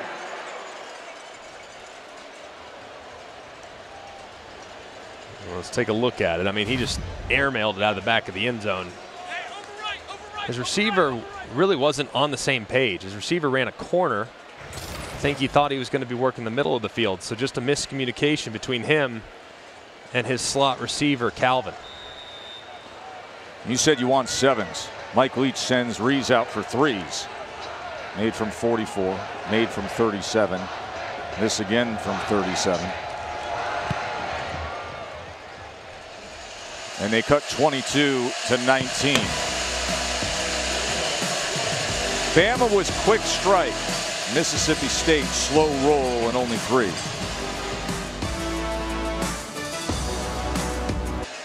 Well, this season, along with her contributions to University General Scholarship Funds, for every field goal and extra point made, Allstate will also be donating to the American Red Cross to help with disaster relief. Thank you, Allstate. They've donated well to this point tonight. 28 to 9, Alabama. Three field goals from Ruiz from Mississippi State.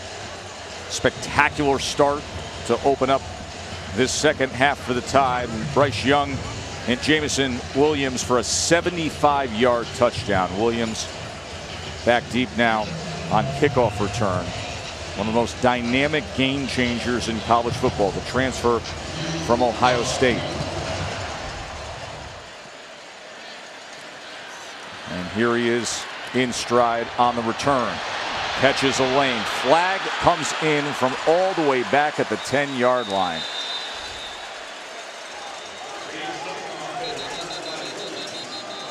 Uh, Williams was so good last week when they were trailing A&M as well. During the they used him to spark the comeback. Holding on the return team, number 42. 10-yard penalty, first down. Katie. Well, guys, last weekend, former Alabama quarterback Mac Jones texted Bryce Young after the loss, sharing his thoughts and advice. Of course, the two grew close a season ago. Bryce Young said, I got a front row seat to watching how Jones led, how he worked, how he was the leader that this team needed, and the preparation that it takes to be the quarterback here at Alabama. The two talk every single weekend. It's a relationship Young says he values a great deal. And Greg, you know better than anyone. I just feel like the quarterbacks who play for this program genuinely care about the success of the guy that comes behind them. Well, absolutely. Brian Robinson as he gets out to the 22 yard line. And I think a big part of that too is, I mean, you don't realize, I think a lot of people don't realize just how much your backup helps you. I mean, see, he's your eyes from the sideline and you grow really close. I mean, the guy I backed up sitting about 25 feet to my left, John Parker Wilson, we're extremely close. I mean, it's just, that's what happens. You want to make sure that that backup quarterback, you have to trust them implicitly because the coaches are going to see things one way, but the quarterback sees it from the perspective in which he was repping, just like you were all week long. So it's incredibly valuable, and it's great that both Bryce and Mac have that relationship to lean on each other. John Parker, of course, who was the starting quarterback for Saban's first year on the job. Taken down is Bryce Young by Aaron Brule. Last year, he led all linebackers in the country in quarterback pressures. He gets to Bryce Young here. And a great job there, just going with an internal cross dog as they try to get Brule in one-on-one against Dalcourt, the center. He wins across face. Dalcourt can't recover. Just a great sack there by Brule. Pass protection, a bit of a concern for Alabama this year. They're not used to saying that. Last week, they went down four times, to Young, and was hurried. Metchie the 20-yard line on second and 20. Just five yards there. The third and long. Lule had the tackle against Metchie.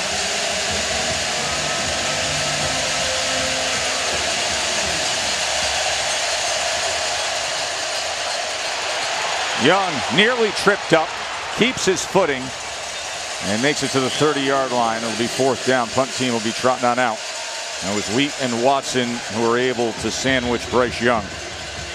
It was a really nice job there by Mississippi State's defense of forcing the negative play on first and 10, getting Alabama behind the sticks, and then dropping everybody back in coverage, rallying up, making a tackle in the open field. Just a really nice sequence there by the Bulldogs and their defensive coordinator, Zach Arnett.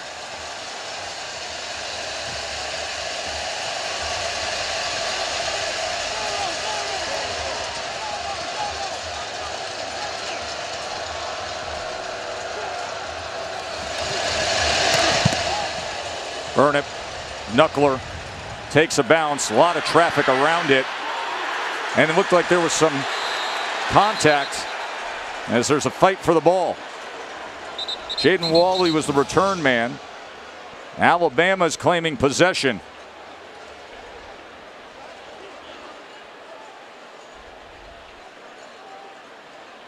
And Walley comes up with it.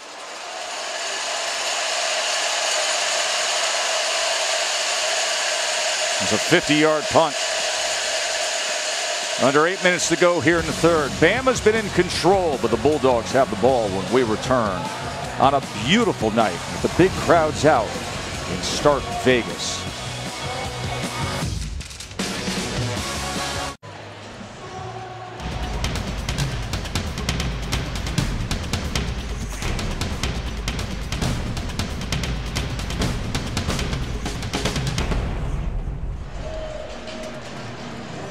SEC football finals an absolute must watch. Hey folks, time to represent your school Submit your best fan video to hashtag show your Saturday. You may get your 15 seconds of fame. Listen, around the SEC today, Georgia did what Georgia does. They beat Kentucky. That was a big win for Auburn at Arkansas. Massive. And it was a really a gutsy performance. I thought Bo Nix was outstanding. He looked very poised, very accurate, especially on downfield throws. Those throws that he'd struggled with. But the shocking performance of the day to me was LSU. I Wasn't still, it? I can't even get that out of my head. My mind is blown. Correct. With what we just saw from LSU. Their four best players have shut it down for the year, right? They, they had 60 players available today out of a, a normal 85. And my goodness, for them to put on that performance, both offensively and defensively, more ways offensively than defensively, but man, it was a heck of a job by Ed Orgeron's Tigers. Will Rogers goes down again. This time it's Henry To'oto'o with the sack. You'll see To'oto'o lined up at the top of the M in Mississippi State. He just wraps right around. He sees Scott Lashley, the right tackle, engaged underneath, and no one taking care of the edge. He just loops right around and drops Will Rogers for a sack. Excellent recognition by the transfer from Tennessee. Second and 16. Rogers plenty of time this time, and coming back to the ball was Makai Polk. So he picked up nine yards after the sack.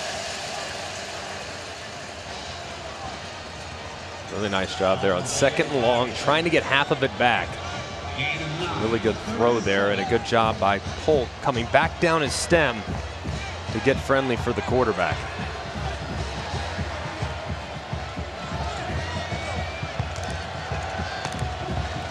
Third and seven. Rogers goes down again, seventh sack.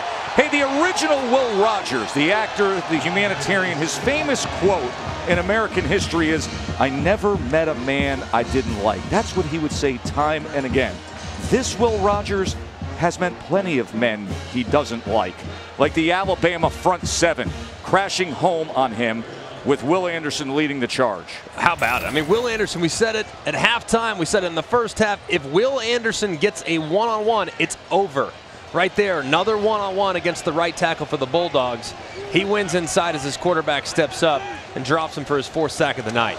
Third punt for Archer Tra Trafford. JoJo Earle calls for the fair catch and he muffed it, but then was able to secure it. And it was just a little moment of angst there, but nothing to worry about with that guy. This is what an All American looks like when he calls out his teammates. When he says, I'm going to hold everybody accountable, including myself. Will Anderson's been dominating. This was JoJo, but the freshman with those quick hands. Bama with the ball when we return here in Starkville.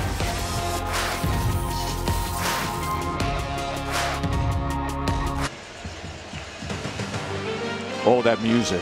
Oh, that music. Tuesday night NHL on ESPN. Islanders Blackhawks, 8 Eastern on ESPN, and of course, the app. So good to hear that music again. Great action of the NHL back on this network. Bryce Young on first down. As he gets it out to Metchie. Metchie has been his favorite target. Eighth time he's looked his way. He's over 100 yards as he gets the completion for 14 yards there. He's got seven catches for 117. So far, they've obviously committed to the play action pass here in the second half. Two snaps, two play action passes. Williams going to test that right side. Not much there. Hey, speaking of the NHL, Greg, obviously you live in the great state of Alabama, been years down in the South. You believe there are three NHL players who are born in the state of Alabama, one from Mississippi. I would not have, history of the league. I would not have guessed that there were that many from the great state of Alabama, but the great state of Alabama has produced a lot of remarkably talented athletes at so many different sports. I can't say I'm shocked, but man, to have four from these two states is pretty remarkable.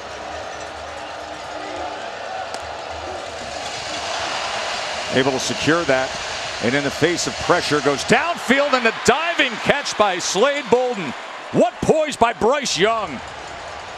I mean, unbelievable. The ball is snapped way to the left. I don't know how he even corrals it. He gathers himself, even though there's two unblocked Mississippi State Bulldogs coming off the right side. He moves a little bit to his left. As what a throw by the quarterback. Man, that was an unbelievable play by Bryce Young. Now they're going to review the catch by Bolden, but look at this from Bryce Young.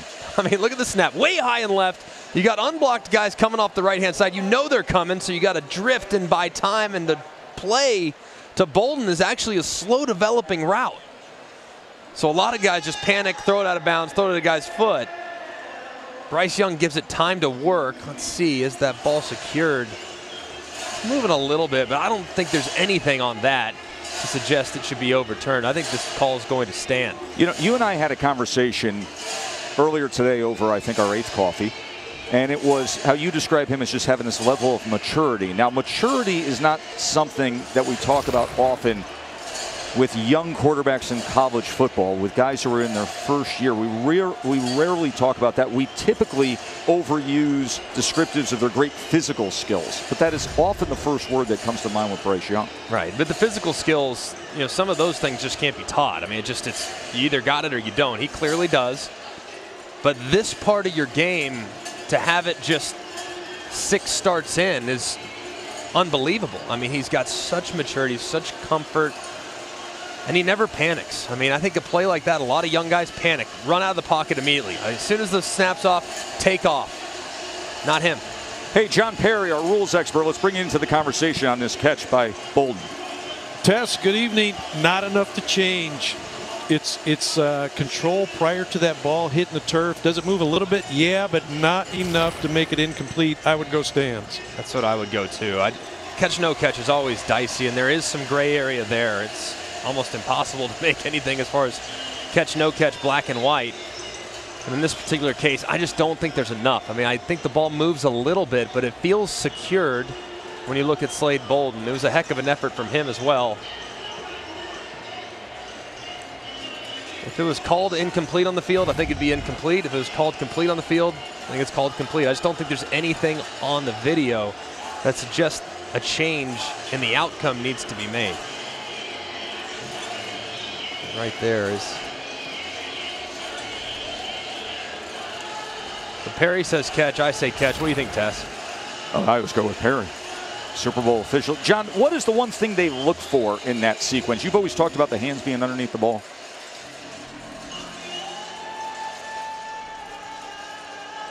And when usually when it takes try this to long, find though, the best best angle that you can find to confirm it or reverse it. After review, it was an incomplete pass. Wow. It'll be third and Wow. eight at the 32-yard line. I'm really surprised. I'm really surprised by that. And that's the reaction that the home crowd absolutely loves. Usually when it takes that long, though, they're looking at a few things. Original spot, down in distance, how much time is left, etc. So a huge call there in favor of the Mississippi State Bulldogs. Now Bama facing third and eight from their own 32.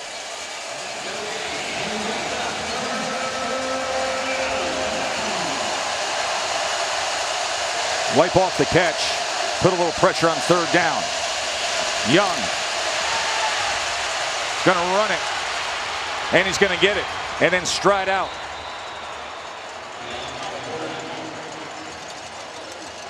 Good So on job. third and eight, he goes for 13. Really good job there by Bryce Young. He's not a guy, when he leaves the pocket, he leaves that passing posture. He's not often looking to run.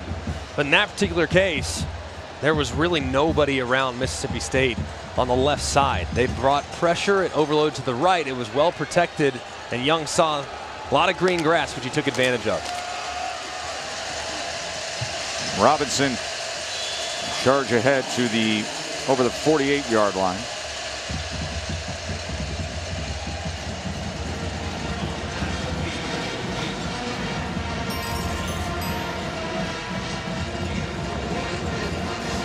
Arizona State and Utah still to come.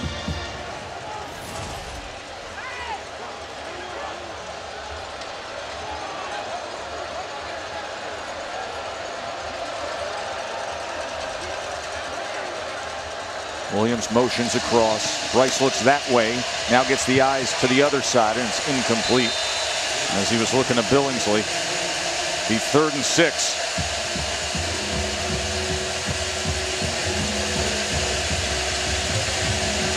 Zach Arnett, young defensive coordinator.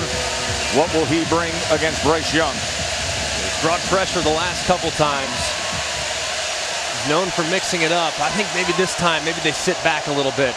They go with four down rush, no blitz. See if they can't keep it in front of him, tackle him short of the sticks.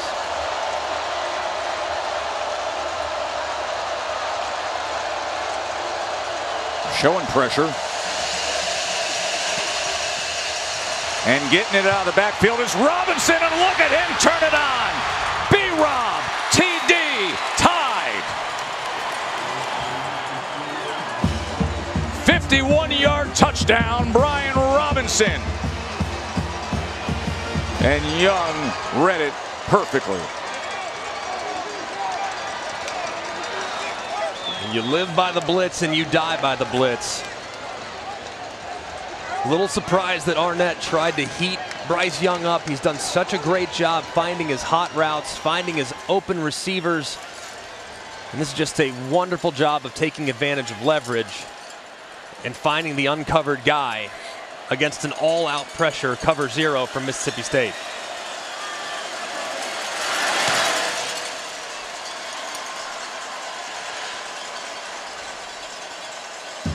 Explosive plays for Alabama tonight. They've gone for 41 yards, 75 yards, and this for 51 yards. Yeah, and as you can see, I mean, Bryce Young knows it's all out pressure. It's a flat top defense. Those guys are coming. You know that one of the guys is unblocked. He's yours. You own it. But as a result, you're going to have a guy in open space. And especially when you have a running back. Not a lot of teams are going to go with a five man protection with five guys along the offensive line in protection. And then the hot outlet is going to be the running back on a little out route. I mean, that's almost uncoverable because the guy responsible for him has to peel. So Brian Robinson is wide open. Young knows exactly where to go with the football. Very calm, retreats just a little bit, invites that rusher, and delivers a strike, and Robinson does the rest. Just an excellent job of execution there from the Alabama passing attack. You blink and it's 35 to 9.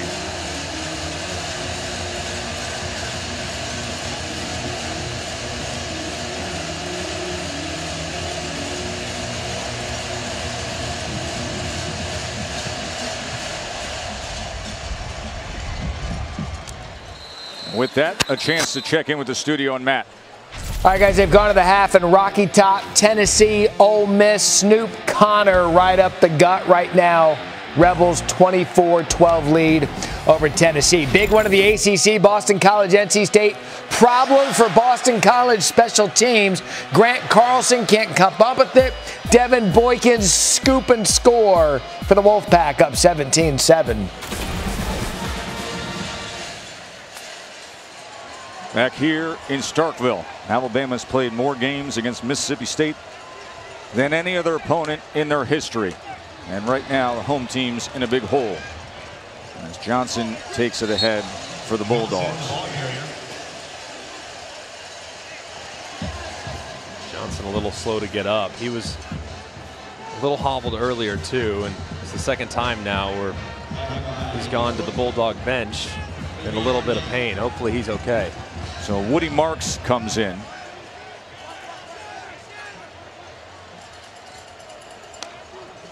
Rogers on second and seven. Quick hitch that time to Calvin. Woody Marks, the running back number seven, who just came in. Yes, his first name Woody. His actual birth name is Jaquavius, but he loved watching nonstop his favorite movie as a kid, Toy Story. So Woody was the nickname, and it stuck. I love it. He's a great player, too. It's exactly what they need in this offense. Excellent catching the ball out of the backfield.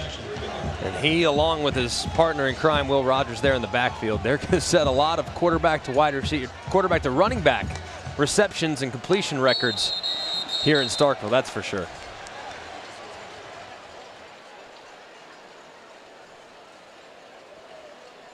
Before the snap, false start.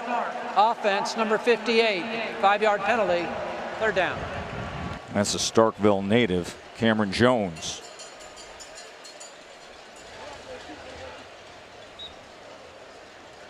You can Mike Leach has to be a little frustrated. They've had some good drives, haven't been able to finish drives. So far, they've made a few too many mistakes. And right now, with their inability to protect Will Rogers,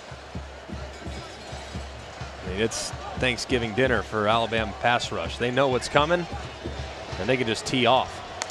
They've had seven sacks tonight.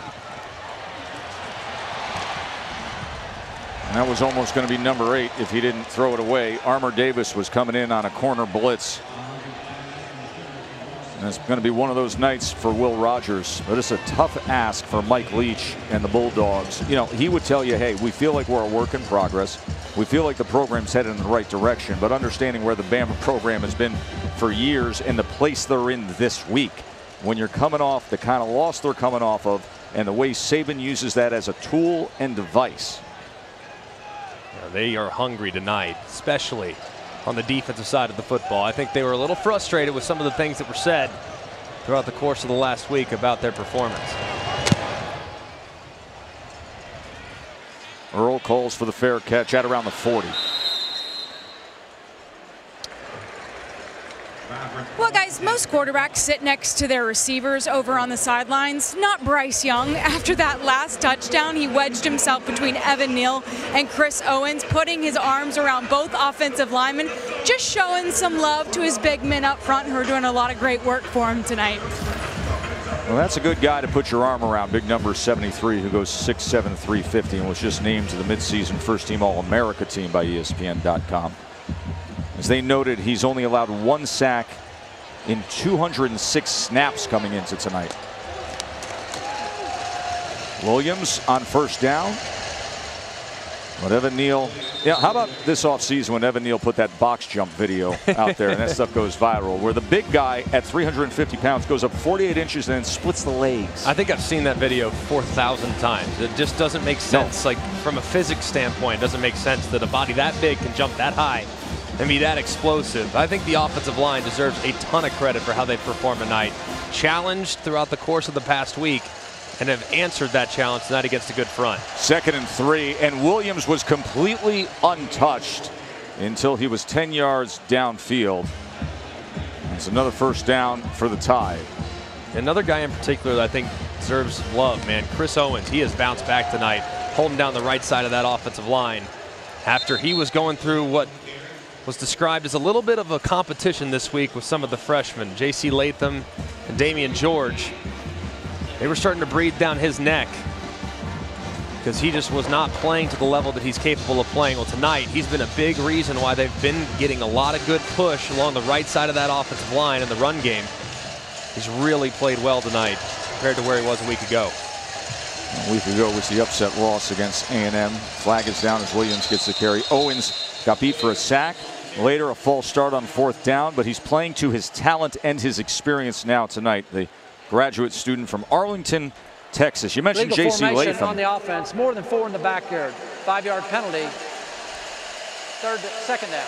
J.C. Latham, part of that tremendous recruiting class, who you got to think will be hitting the field soon enough, but he was number two offensive lineman in the country last year, number five overall player, according to most of the rankings. So Bill O'Brien has a lot of talent still to come on that offensive line.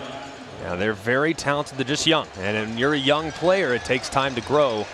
So right now, Owens is certainly the best man for the job on the right side.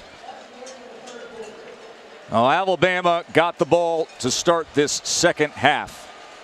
And they said, we're going to go full throttle right away. Bryce Young went to Jameson Williams, and Williams, with all that speed, went for 75 yards. And then Brian Robinson went for 51. And that's why the scoreboard is lopsided with an elephant on top.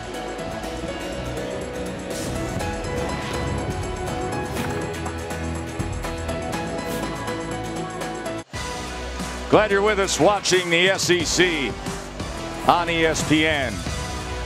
Joe, Greg, Katie, and hashtag that guy ah, college. Ain't it grand? Start of the fourth quarter. Robinson with the spin move and gets the most of it as he has for most of the night. Crumedy with the tackle. But Robinson has been sensational as a weapon every which way. How about my guy here, though? I mean, just all in his phone, checking Twitter. He's going to have a ton of mentions, ton of follows. Young gets it complete as he's able to connect with Bolden. Bryce Young just continues to be very efficient, on time, very accurate with the football. I mean, just right in between those two ones of the number 11, right in the middle of his chest. Made him wear that one. Here's Robinson trying to get to the edge, but instead he's driven down by Bookie Watson. Bookie Watson, who is known as Little Bookie because dad's Big Bookie. These linebackers have been flying around tonight, man, but they've had their hands full. I mean, the amount of different looks that you have to account for from Alabama's offense. In this particular case, you got two tight ends set with an excellent running back that can catch the ball out of the backfield. Bryce wants more, but he doesn't get it that time as too far for a streaking Cameron Latu. Latu was the breakout star of the spring. Of course, everybody was raving about Jahleel Billingsley, the athletic tight end, and then number 81 says, hey, I can play too. The more traditional Y tight end, hand in the dirt tight end, does a great job in the run game as well. But man, he has been a force catching the football. Third and 10. They drop eight against Young. He pumps and then he runs and he darts his way inside to the end zone. They said he got in. Take a bow, young man. You've been sensational tonight. 13 yard dance to the end zone for Bryce Young. He's close to stepping on the line there, but what a move he put on. And then watch at the end. Right there. It's a great effort from Bryce Young. Rolling on the field was a touchdown. The previous play is under further review. Let's take a look at that foot right there. That looks close. But that one yep. clearly out of bounds. Where's the ball when that right foot goes out of bounds is the other question too. But just a great job there by Bryce Young. Look at that foot. The left foot looks okay. The right foot, however, clearly out of bounds. Where's the ball at that point? And we got to look to where. Listen, it appears that's before he stretches out the ball. Here's the pylon cam. You can't see the foot at that point.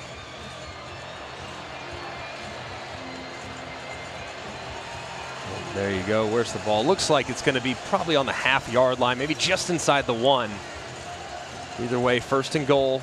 But how about his body control? It was amazing. I mean, forget the ruling on the field and what we're doing with review. Just how about the athleticism and the body control of Bryce Young? Yeah, just really nicely done there along the sideline. I mean, just knowing where you're at, knowing what you need. After review, the player stepped out of bounds at the one yard line. It'll be first and goal from that spot. Just a really good job there by the quarterback. And a lot of people have been clamoring for Bryce Young to use his legs more. I mean, he's got that in the arsenal. I mean, but one thing I would say is, I mean, he can run. We, we know that he can run. But the big plays happen when you break the pocket and throw. So still want him to continue to be aggressive throughout the second half of the season. But when the opportunity is there to use your legs, there's no shame in picking up 10 to 15 yards if nobody's going to account for you in the run game.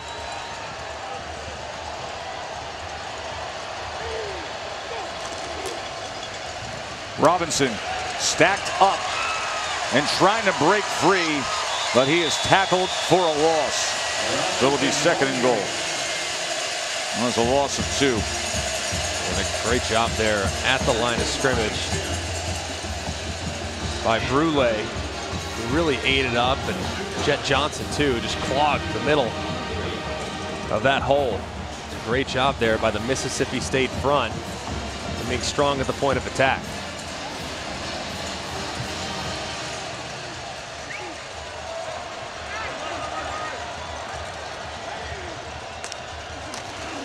Second and goal. Robinson straight ahead, driving ahead and getting in for his second rushing touchdown of the night. Oh, what a difference a week makes.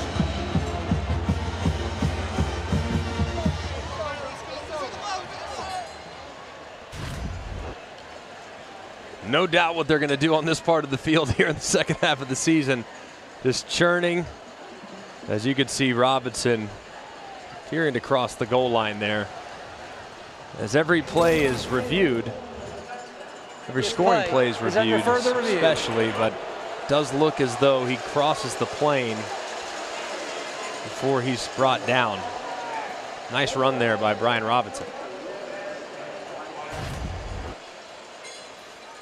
It's been a nice year by Brian Robinson, hasn't it? You know, there was so much talk in the offseason of, okay, so Najee's gone. What was it going to be like? A little bit running back by committee. Everybody was raving about Jase McClellan and what Williams could do, and Trey Sanders, always the fan favorite, right, of right. what he could be. And then here's old reliable who's waited his turn, Greg. Yeah, he has. And I, I thought it was going to be Trey Sanders who was going to be the guy, but he just hasn't come back yet After to the point. Review, the ruling on the field is confirmed. It's a touchdown. He hasn't come back to the point where he's the same player after the injury that he sustained to his lower body after the car accident. So when you look at Brian Robinson, what was most impressive about him is how he's transformed his body. Brian Robinson was 235, 240 pounds and was really a bowling ball with the ball in his hands. Well, he's leaned up, really worked hard on the offseason and changing his body to become a more every down back. And look at the results. I mean, he's been outstanding. Sure has.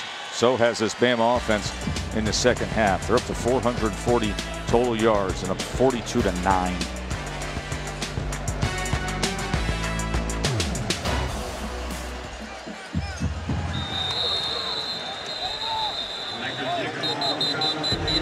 Was there a singular moment? Was there a team meeting? Was there, is it the locker room? What was that moment like and what did you say to the team?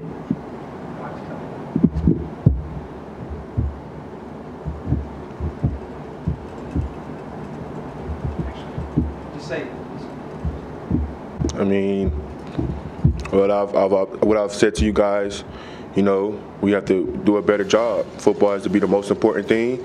You know, that's the biggest thing when you come to Alabama. That's the standard. Football is the most important thing, and that's what I express to the team, and that's what it has to be, and it's going to be that. Will Anderson was visibly frustrated during Monday's presser. He sent a similar message after the Florida game about guys needing to put football first. He said it wasn't taken seriously then, but he hopes it resonates with his teammates now. I'd like to think Mr. Anderson is pleased with his team's performance tonight, guys. Katie, how about his individual performance, huh? Six tackles, four sacks, pass broken up, five solo tackles. Flag is down after that opening play of the series by Mississippi State. After the play was over, personal foul, unnecessary roughness, number 50 on the defense. 15-yard penalty results in a first down. Plan to play is brought to you by Northwestern Mutual. He's been unblockable. I mean, I don't know how else to describe it. He has single-handedly taken over this football game. When working in one-on-one, -on -one, I mean, he's been in the backfield beating the right tackle, Scott Lashley, inside, beating him outside, hustle blitzes, hustle plays. He's been outstanding tonight for the Crimson Tide. Incomplete as Rogers was looking for Polk. And I think when you hear and read between the lines of what he was saying, you got to put football first, got to put football first. You know, it makes you think, what is he indicating there? And you wonder, too, in the ever-changing landscape that is college football, with the high-profile platform that Alabama plays on on a weekly basis, there's tons of opportunity for NIL. There's tons of opportunity to potentially find distractions. And I think that might be what he's indicating, is that there needs to be a newfound commitment to what's going on right in front of you. And that's this practice or next practice or the next day or the next day. And you know, he issued that challenge and he's responded beautifully. And I think his teammates have certainly followed his lead. They're down in two. Rogers flanked by Marks. He's been tough tonight. He's just been overwhelmed by this Alabama front.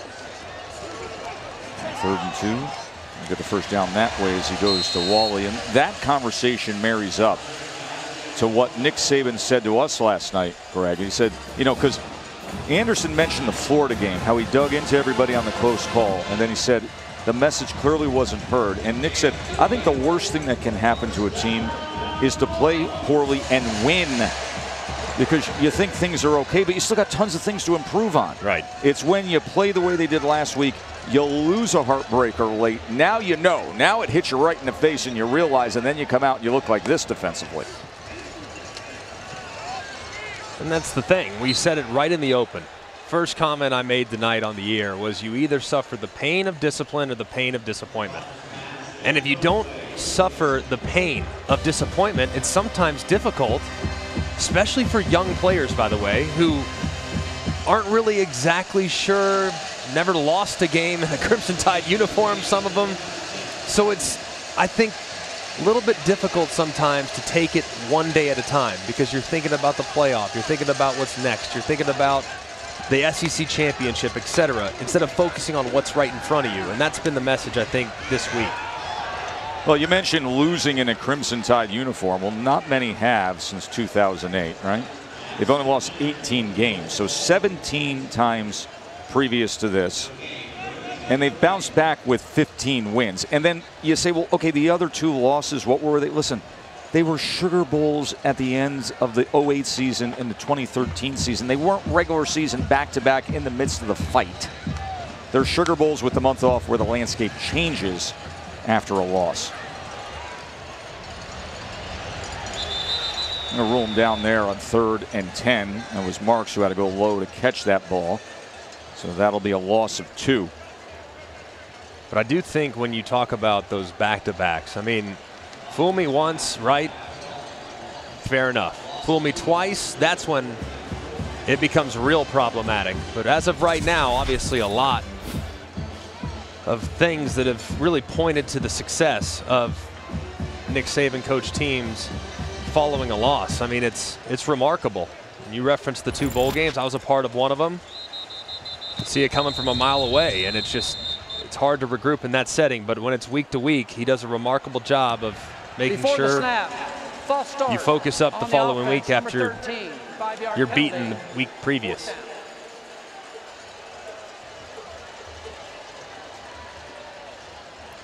Third straight Mississippi State punt. Just over 10 minutes to play. It has been full throttle Bama in this second half.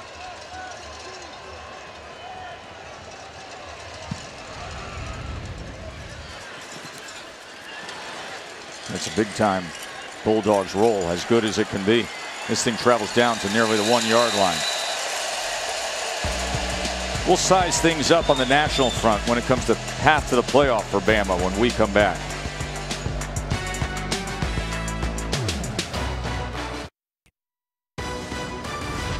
ESPN College Football Primetime is presented by the Eat Fresh Refresh at Subway. See, TDP, Ty Davis Price had 287 yards rushing today. It's a school record. Huge win for Bo Nix in Auburn against number 17 Arkansas. And you can wipe away that number two next to Iowa's name as Purdue beat them 24 to 7. College football rankings are brought to you by PlayStation. Take a peek at it. Obviously, get Iowa out of there at number two. They were a bit of a placeholder, anyways.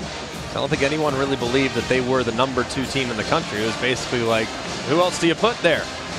Oklahoma in control right now against TCU. See how Caleb Williams is playing. And Cincinnati, man, totally in control of their destiny. The one thing that Cincinnati needs to acknowledge, though, is that their strength of schedule will weaken compared to those teams ranked right behind them. So they got to hold serve, and I think they need to have some style points as well. Because right now, I know everyone seems to think this is the best chance for a group of five to get to the playoff. I think that's a very true statement. But I still think it's going to be dependent on what happens in the Power Five League Championships. Williams off right tackle, whole lot of green in front of him. And then Roydell Williams just absolutely blasts Richardson. DeCamerion Richardson came up and said, I'm going to make this tackle. And Williams says, no, I'm going to be a Mack truck. my goodness, man. How about Williams right here? Great break to the outside. Good job at the line of scrimmage. And boom, lower your shoulder.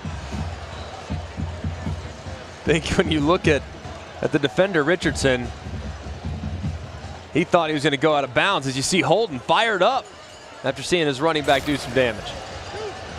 Isn't that what you want to see after last week? Even in the fourth quarter, even with a score like this, and now he goes off the left side and breaks it to the outside there and then dives ahead towards that line again.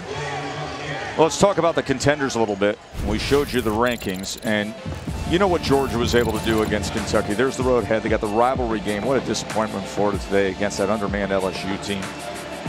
And they will most likely be heading to Atlanta play for the SEC championship. How are you gonna, how you gonna go right over uh, Charleston Southern there in, in, the Georgia schedule? All right, you look at Cincinnati, what they have back. Only SMU ranked on their schedule. Like I said, their schedule will weaken. Their strength of resume will weaken as the season goes along.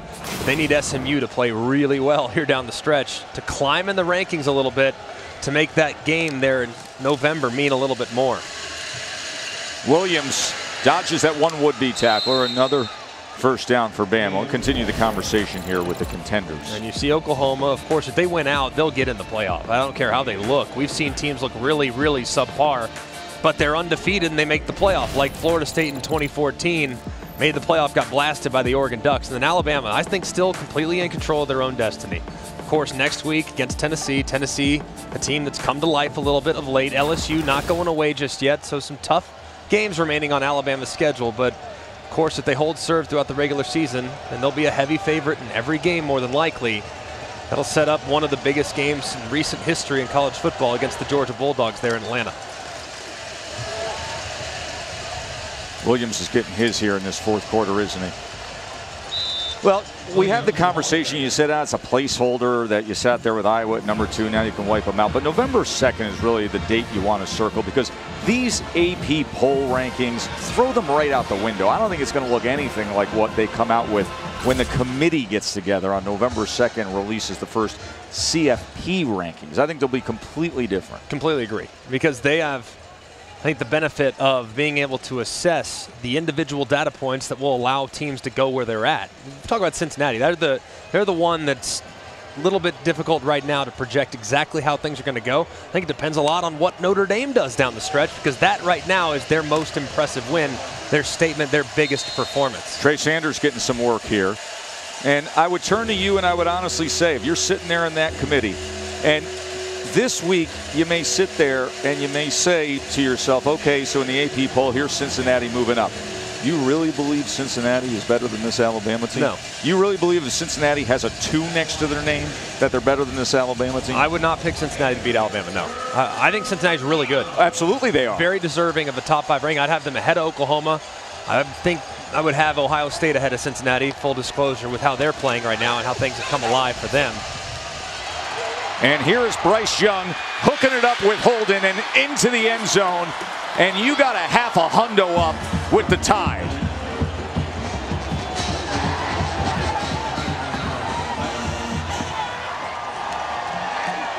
They're up 48 to 9.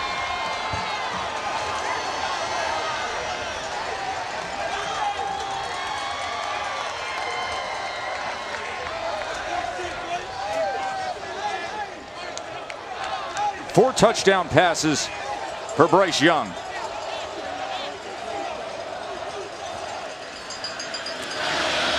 They've had seven plays of 20 or more yards, four for touchdowns, and 49 is plenty fine. 49 to 9, Alabama. Oh, the bounce back wins. On the bounce back statement, Bryce Young. Traeshon Holden. Made it look so easy. It's been all night long.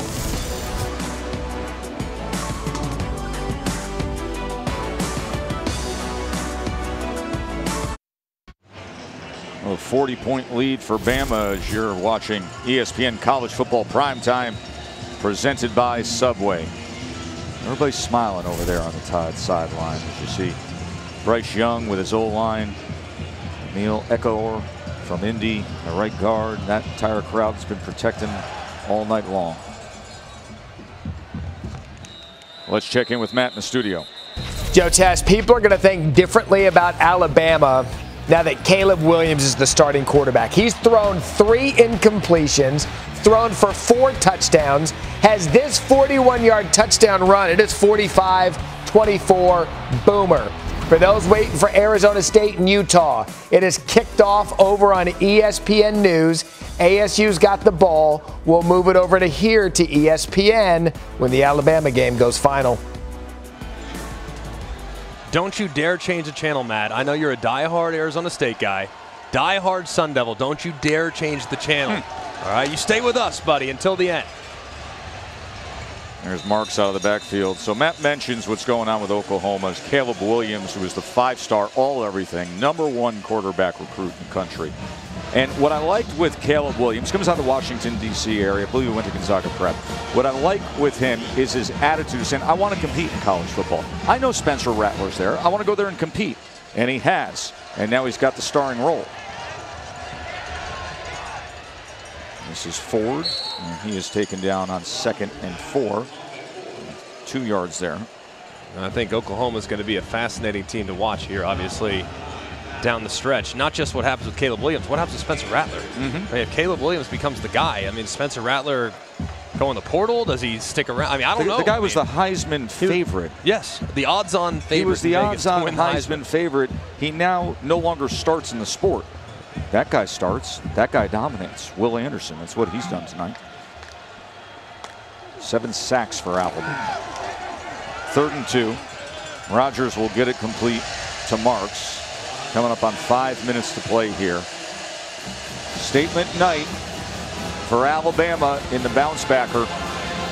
After everybody said, oh, they're wounded, the sky is fallen with the last second loss to A&M. And everybody said, well, you look at what it means now for the tie. They've lost to an unranked team. Can we please stop with the narrative that A&M was an unranked team last week? You look in that top 25 as he gets it complete to Ford again. And Greg, I made this statement. We've been talking about it all week long.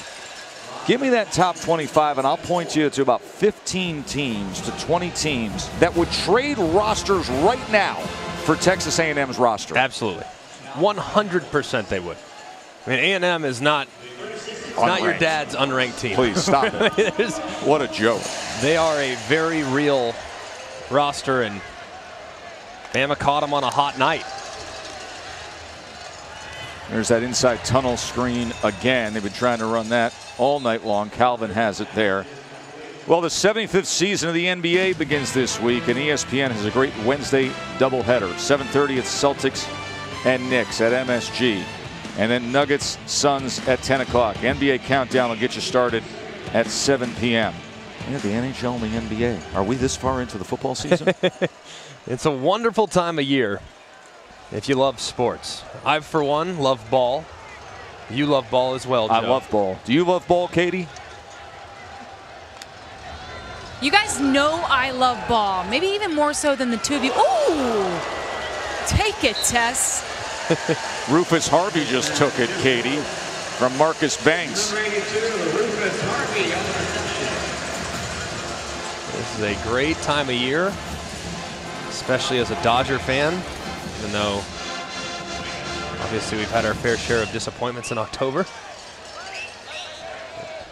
It's a lot of fun. NBA getting started. NHL is back on ESPN. So, so moved by that piece they did about the theme music for the NHL on ESPN. I mean, It that was spectacular. incredible. Incredible. It's, it's as good as our business can be, and I would invite anybody to go on social media or go on YouTube and and find that opening night Justin Bieber led piece of the NHL and the NHL themes return to ESPN.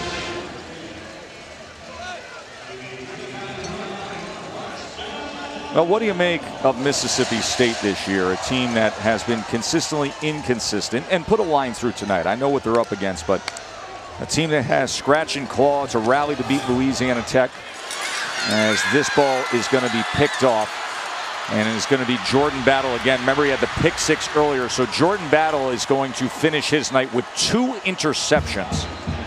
But we will discuss the immediate future of Mississippi State when we come back here. Jordan Battle's dancing, tide is rolling.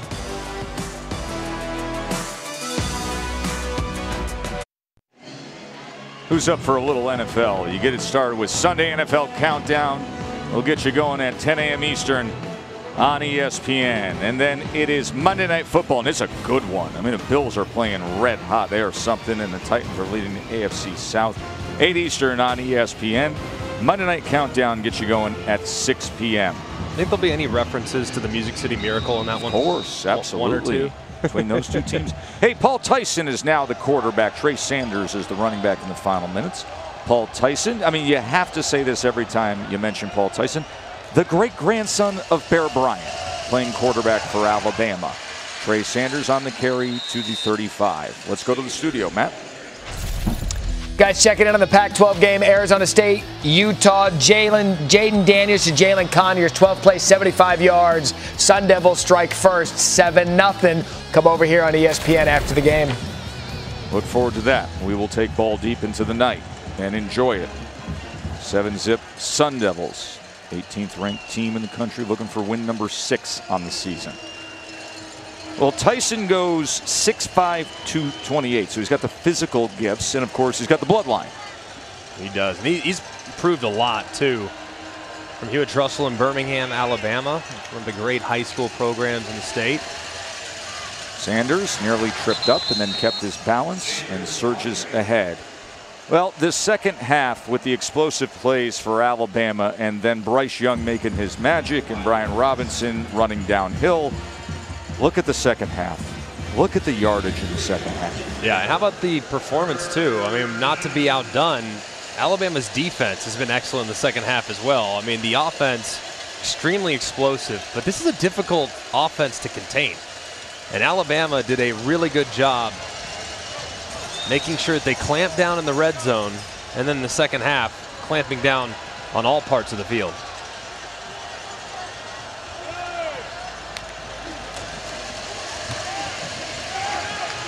Sanders are going to run this thing out. As we're down to the final minute, Alabama's going to have to contend with a very different looking Tennessee team next week in what is a far more attractive game than we would have thought. Tennessee's in a battle with Ole Miss right now. That game on the SEC network with that outstanding primetime crew broadcasting it. By the way, Matt Corral in that game tonight, the Ole Miss quarterback, who, whether it's Bryce Young as your leading Heisman guy or whether it's Matt Corral or there's others, Kenneth Walker at Michigan State, Corral's got 124 yards rushing tonight in that game.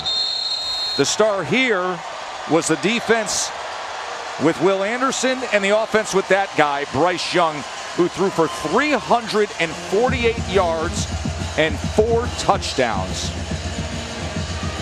The bounce back for Alabama. Did they ever? Listen to the message from Will Anderson. Did they ever? 49 to 9 as Nick Saban, his 200th game as Alabama head coach, his 176th win. Arizona State and Utah coming your way for our entire crew. Enjoy the rest of your night. That's it from Starkville. The tide rolls here.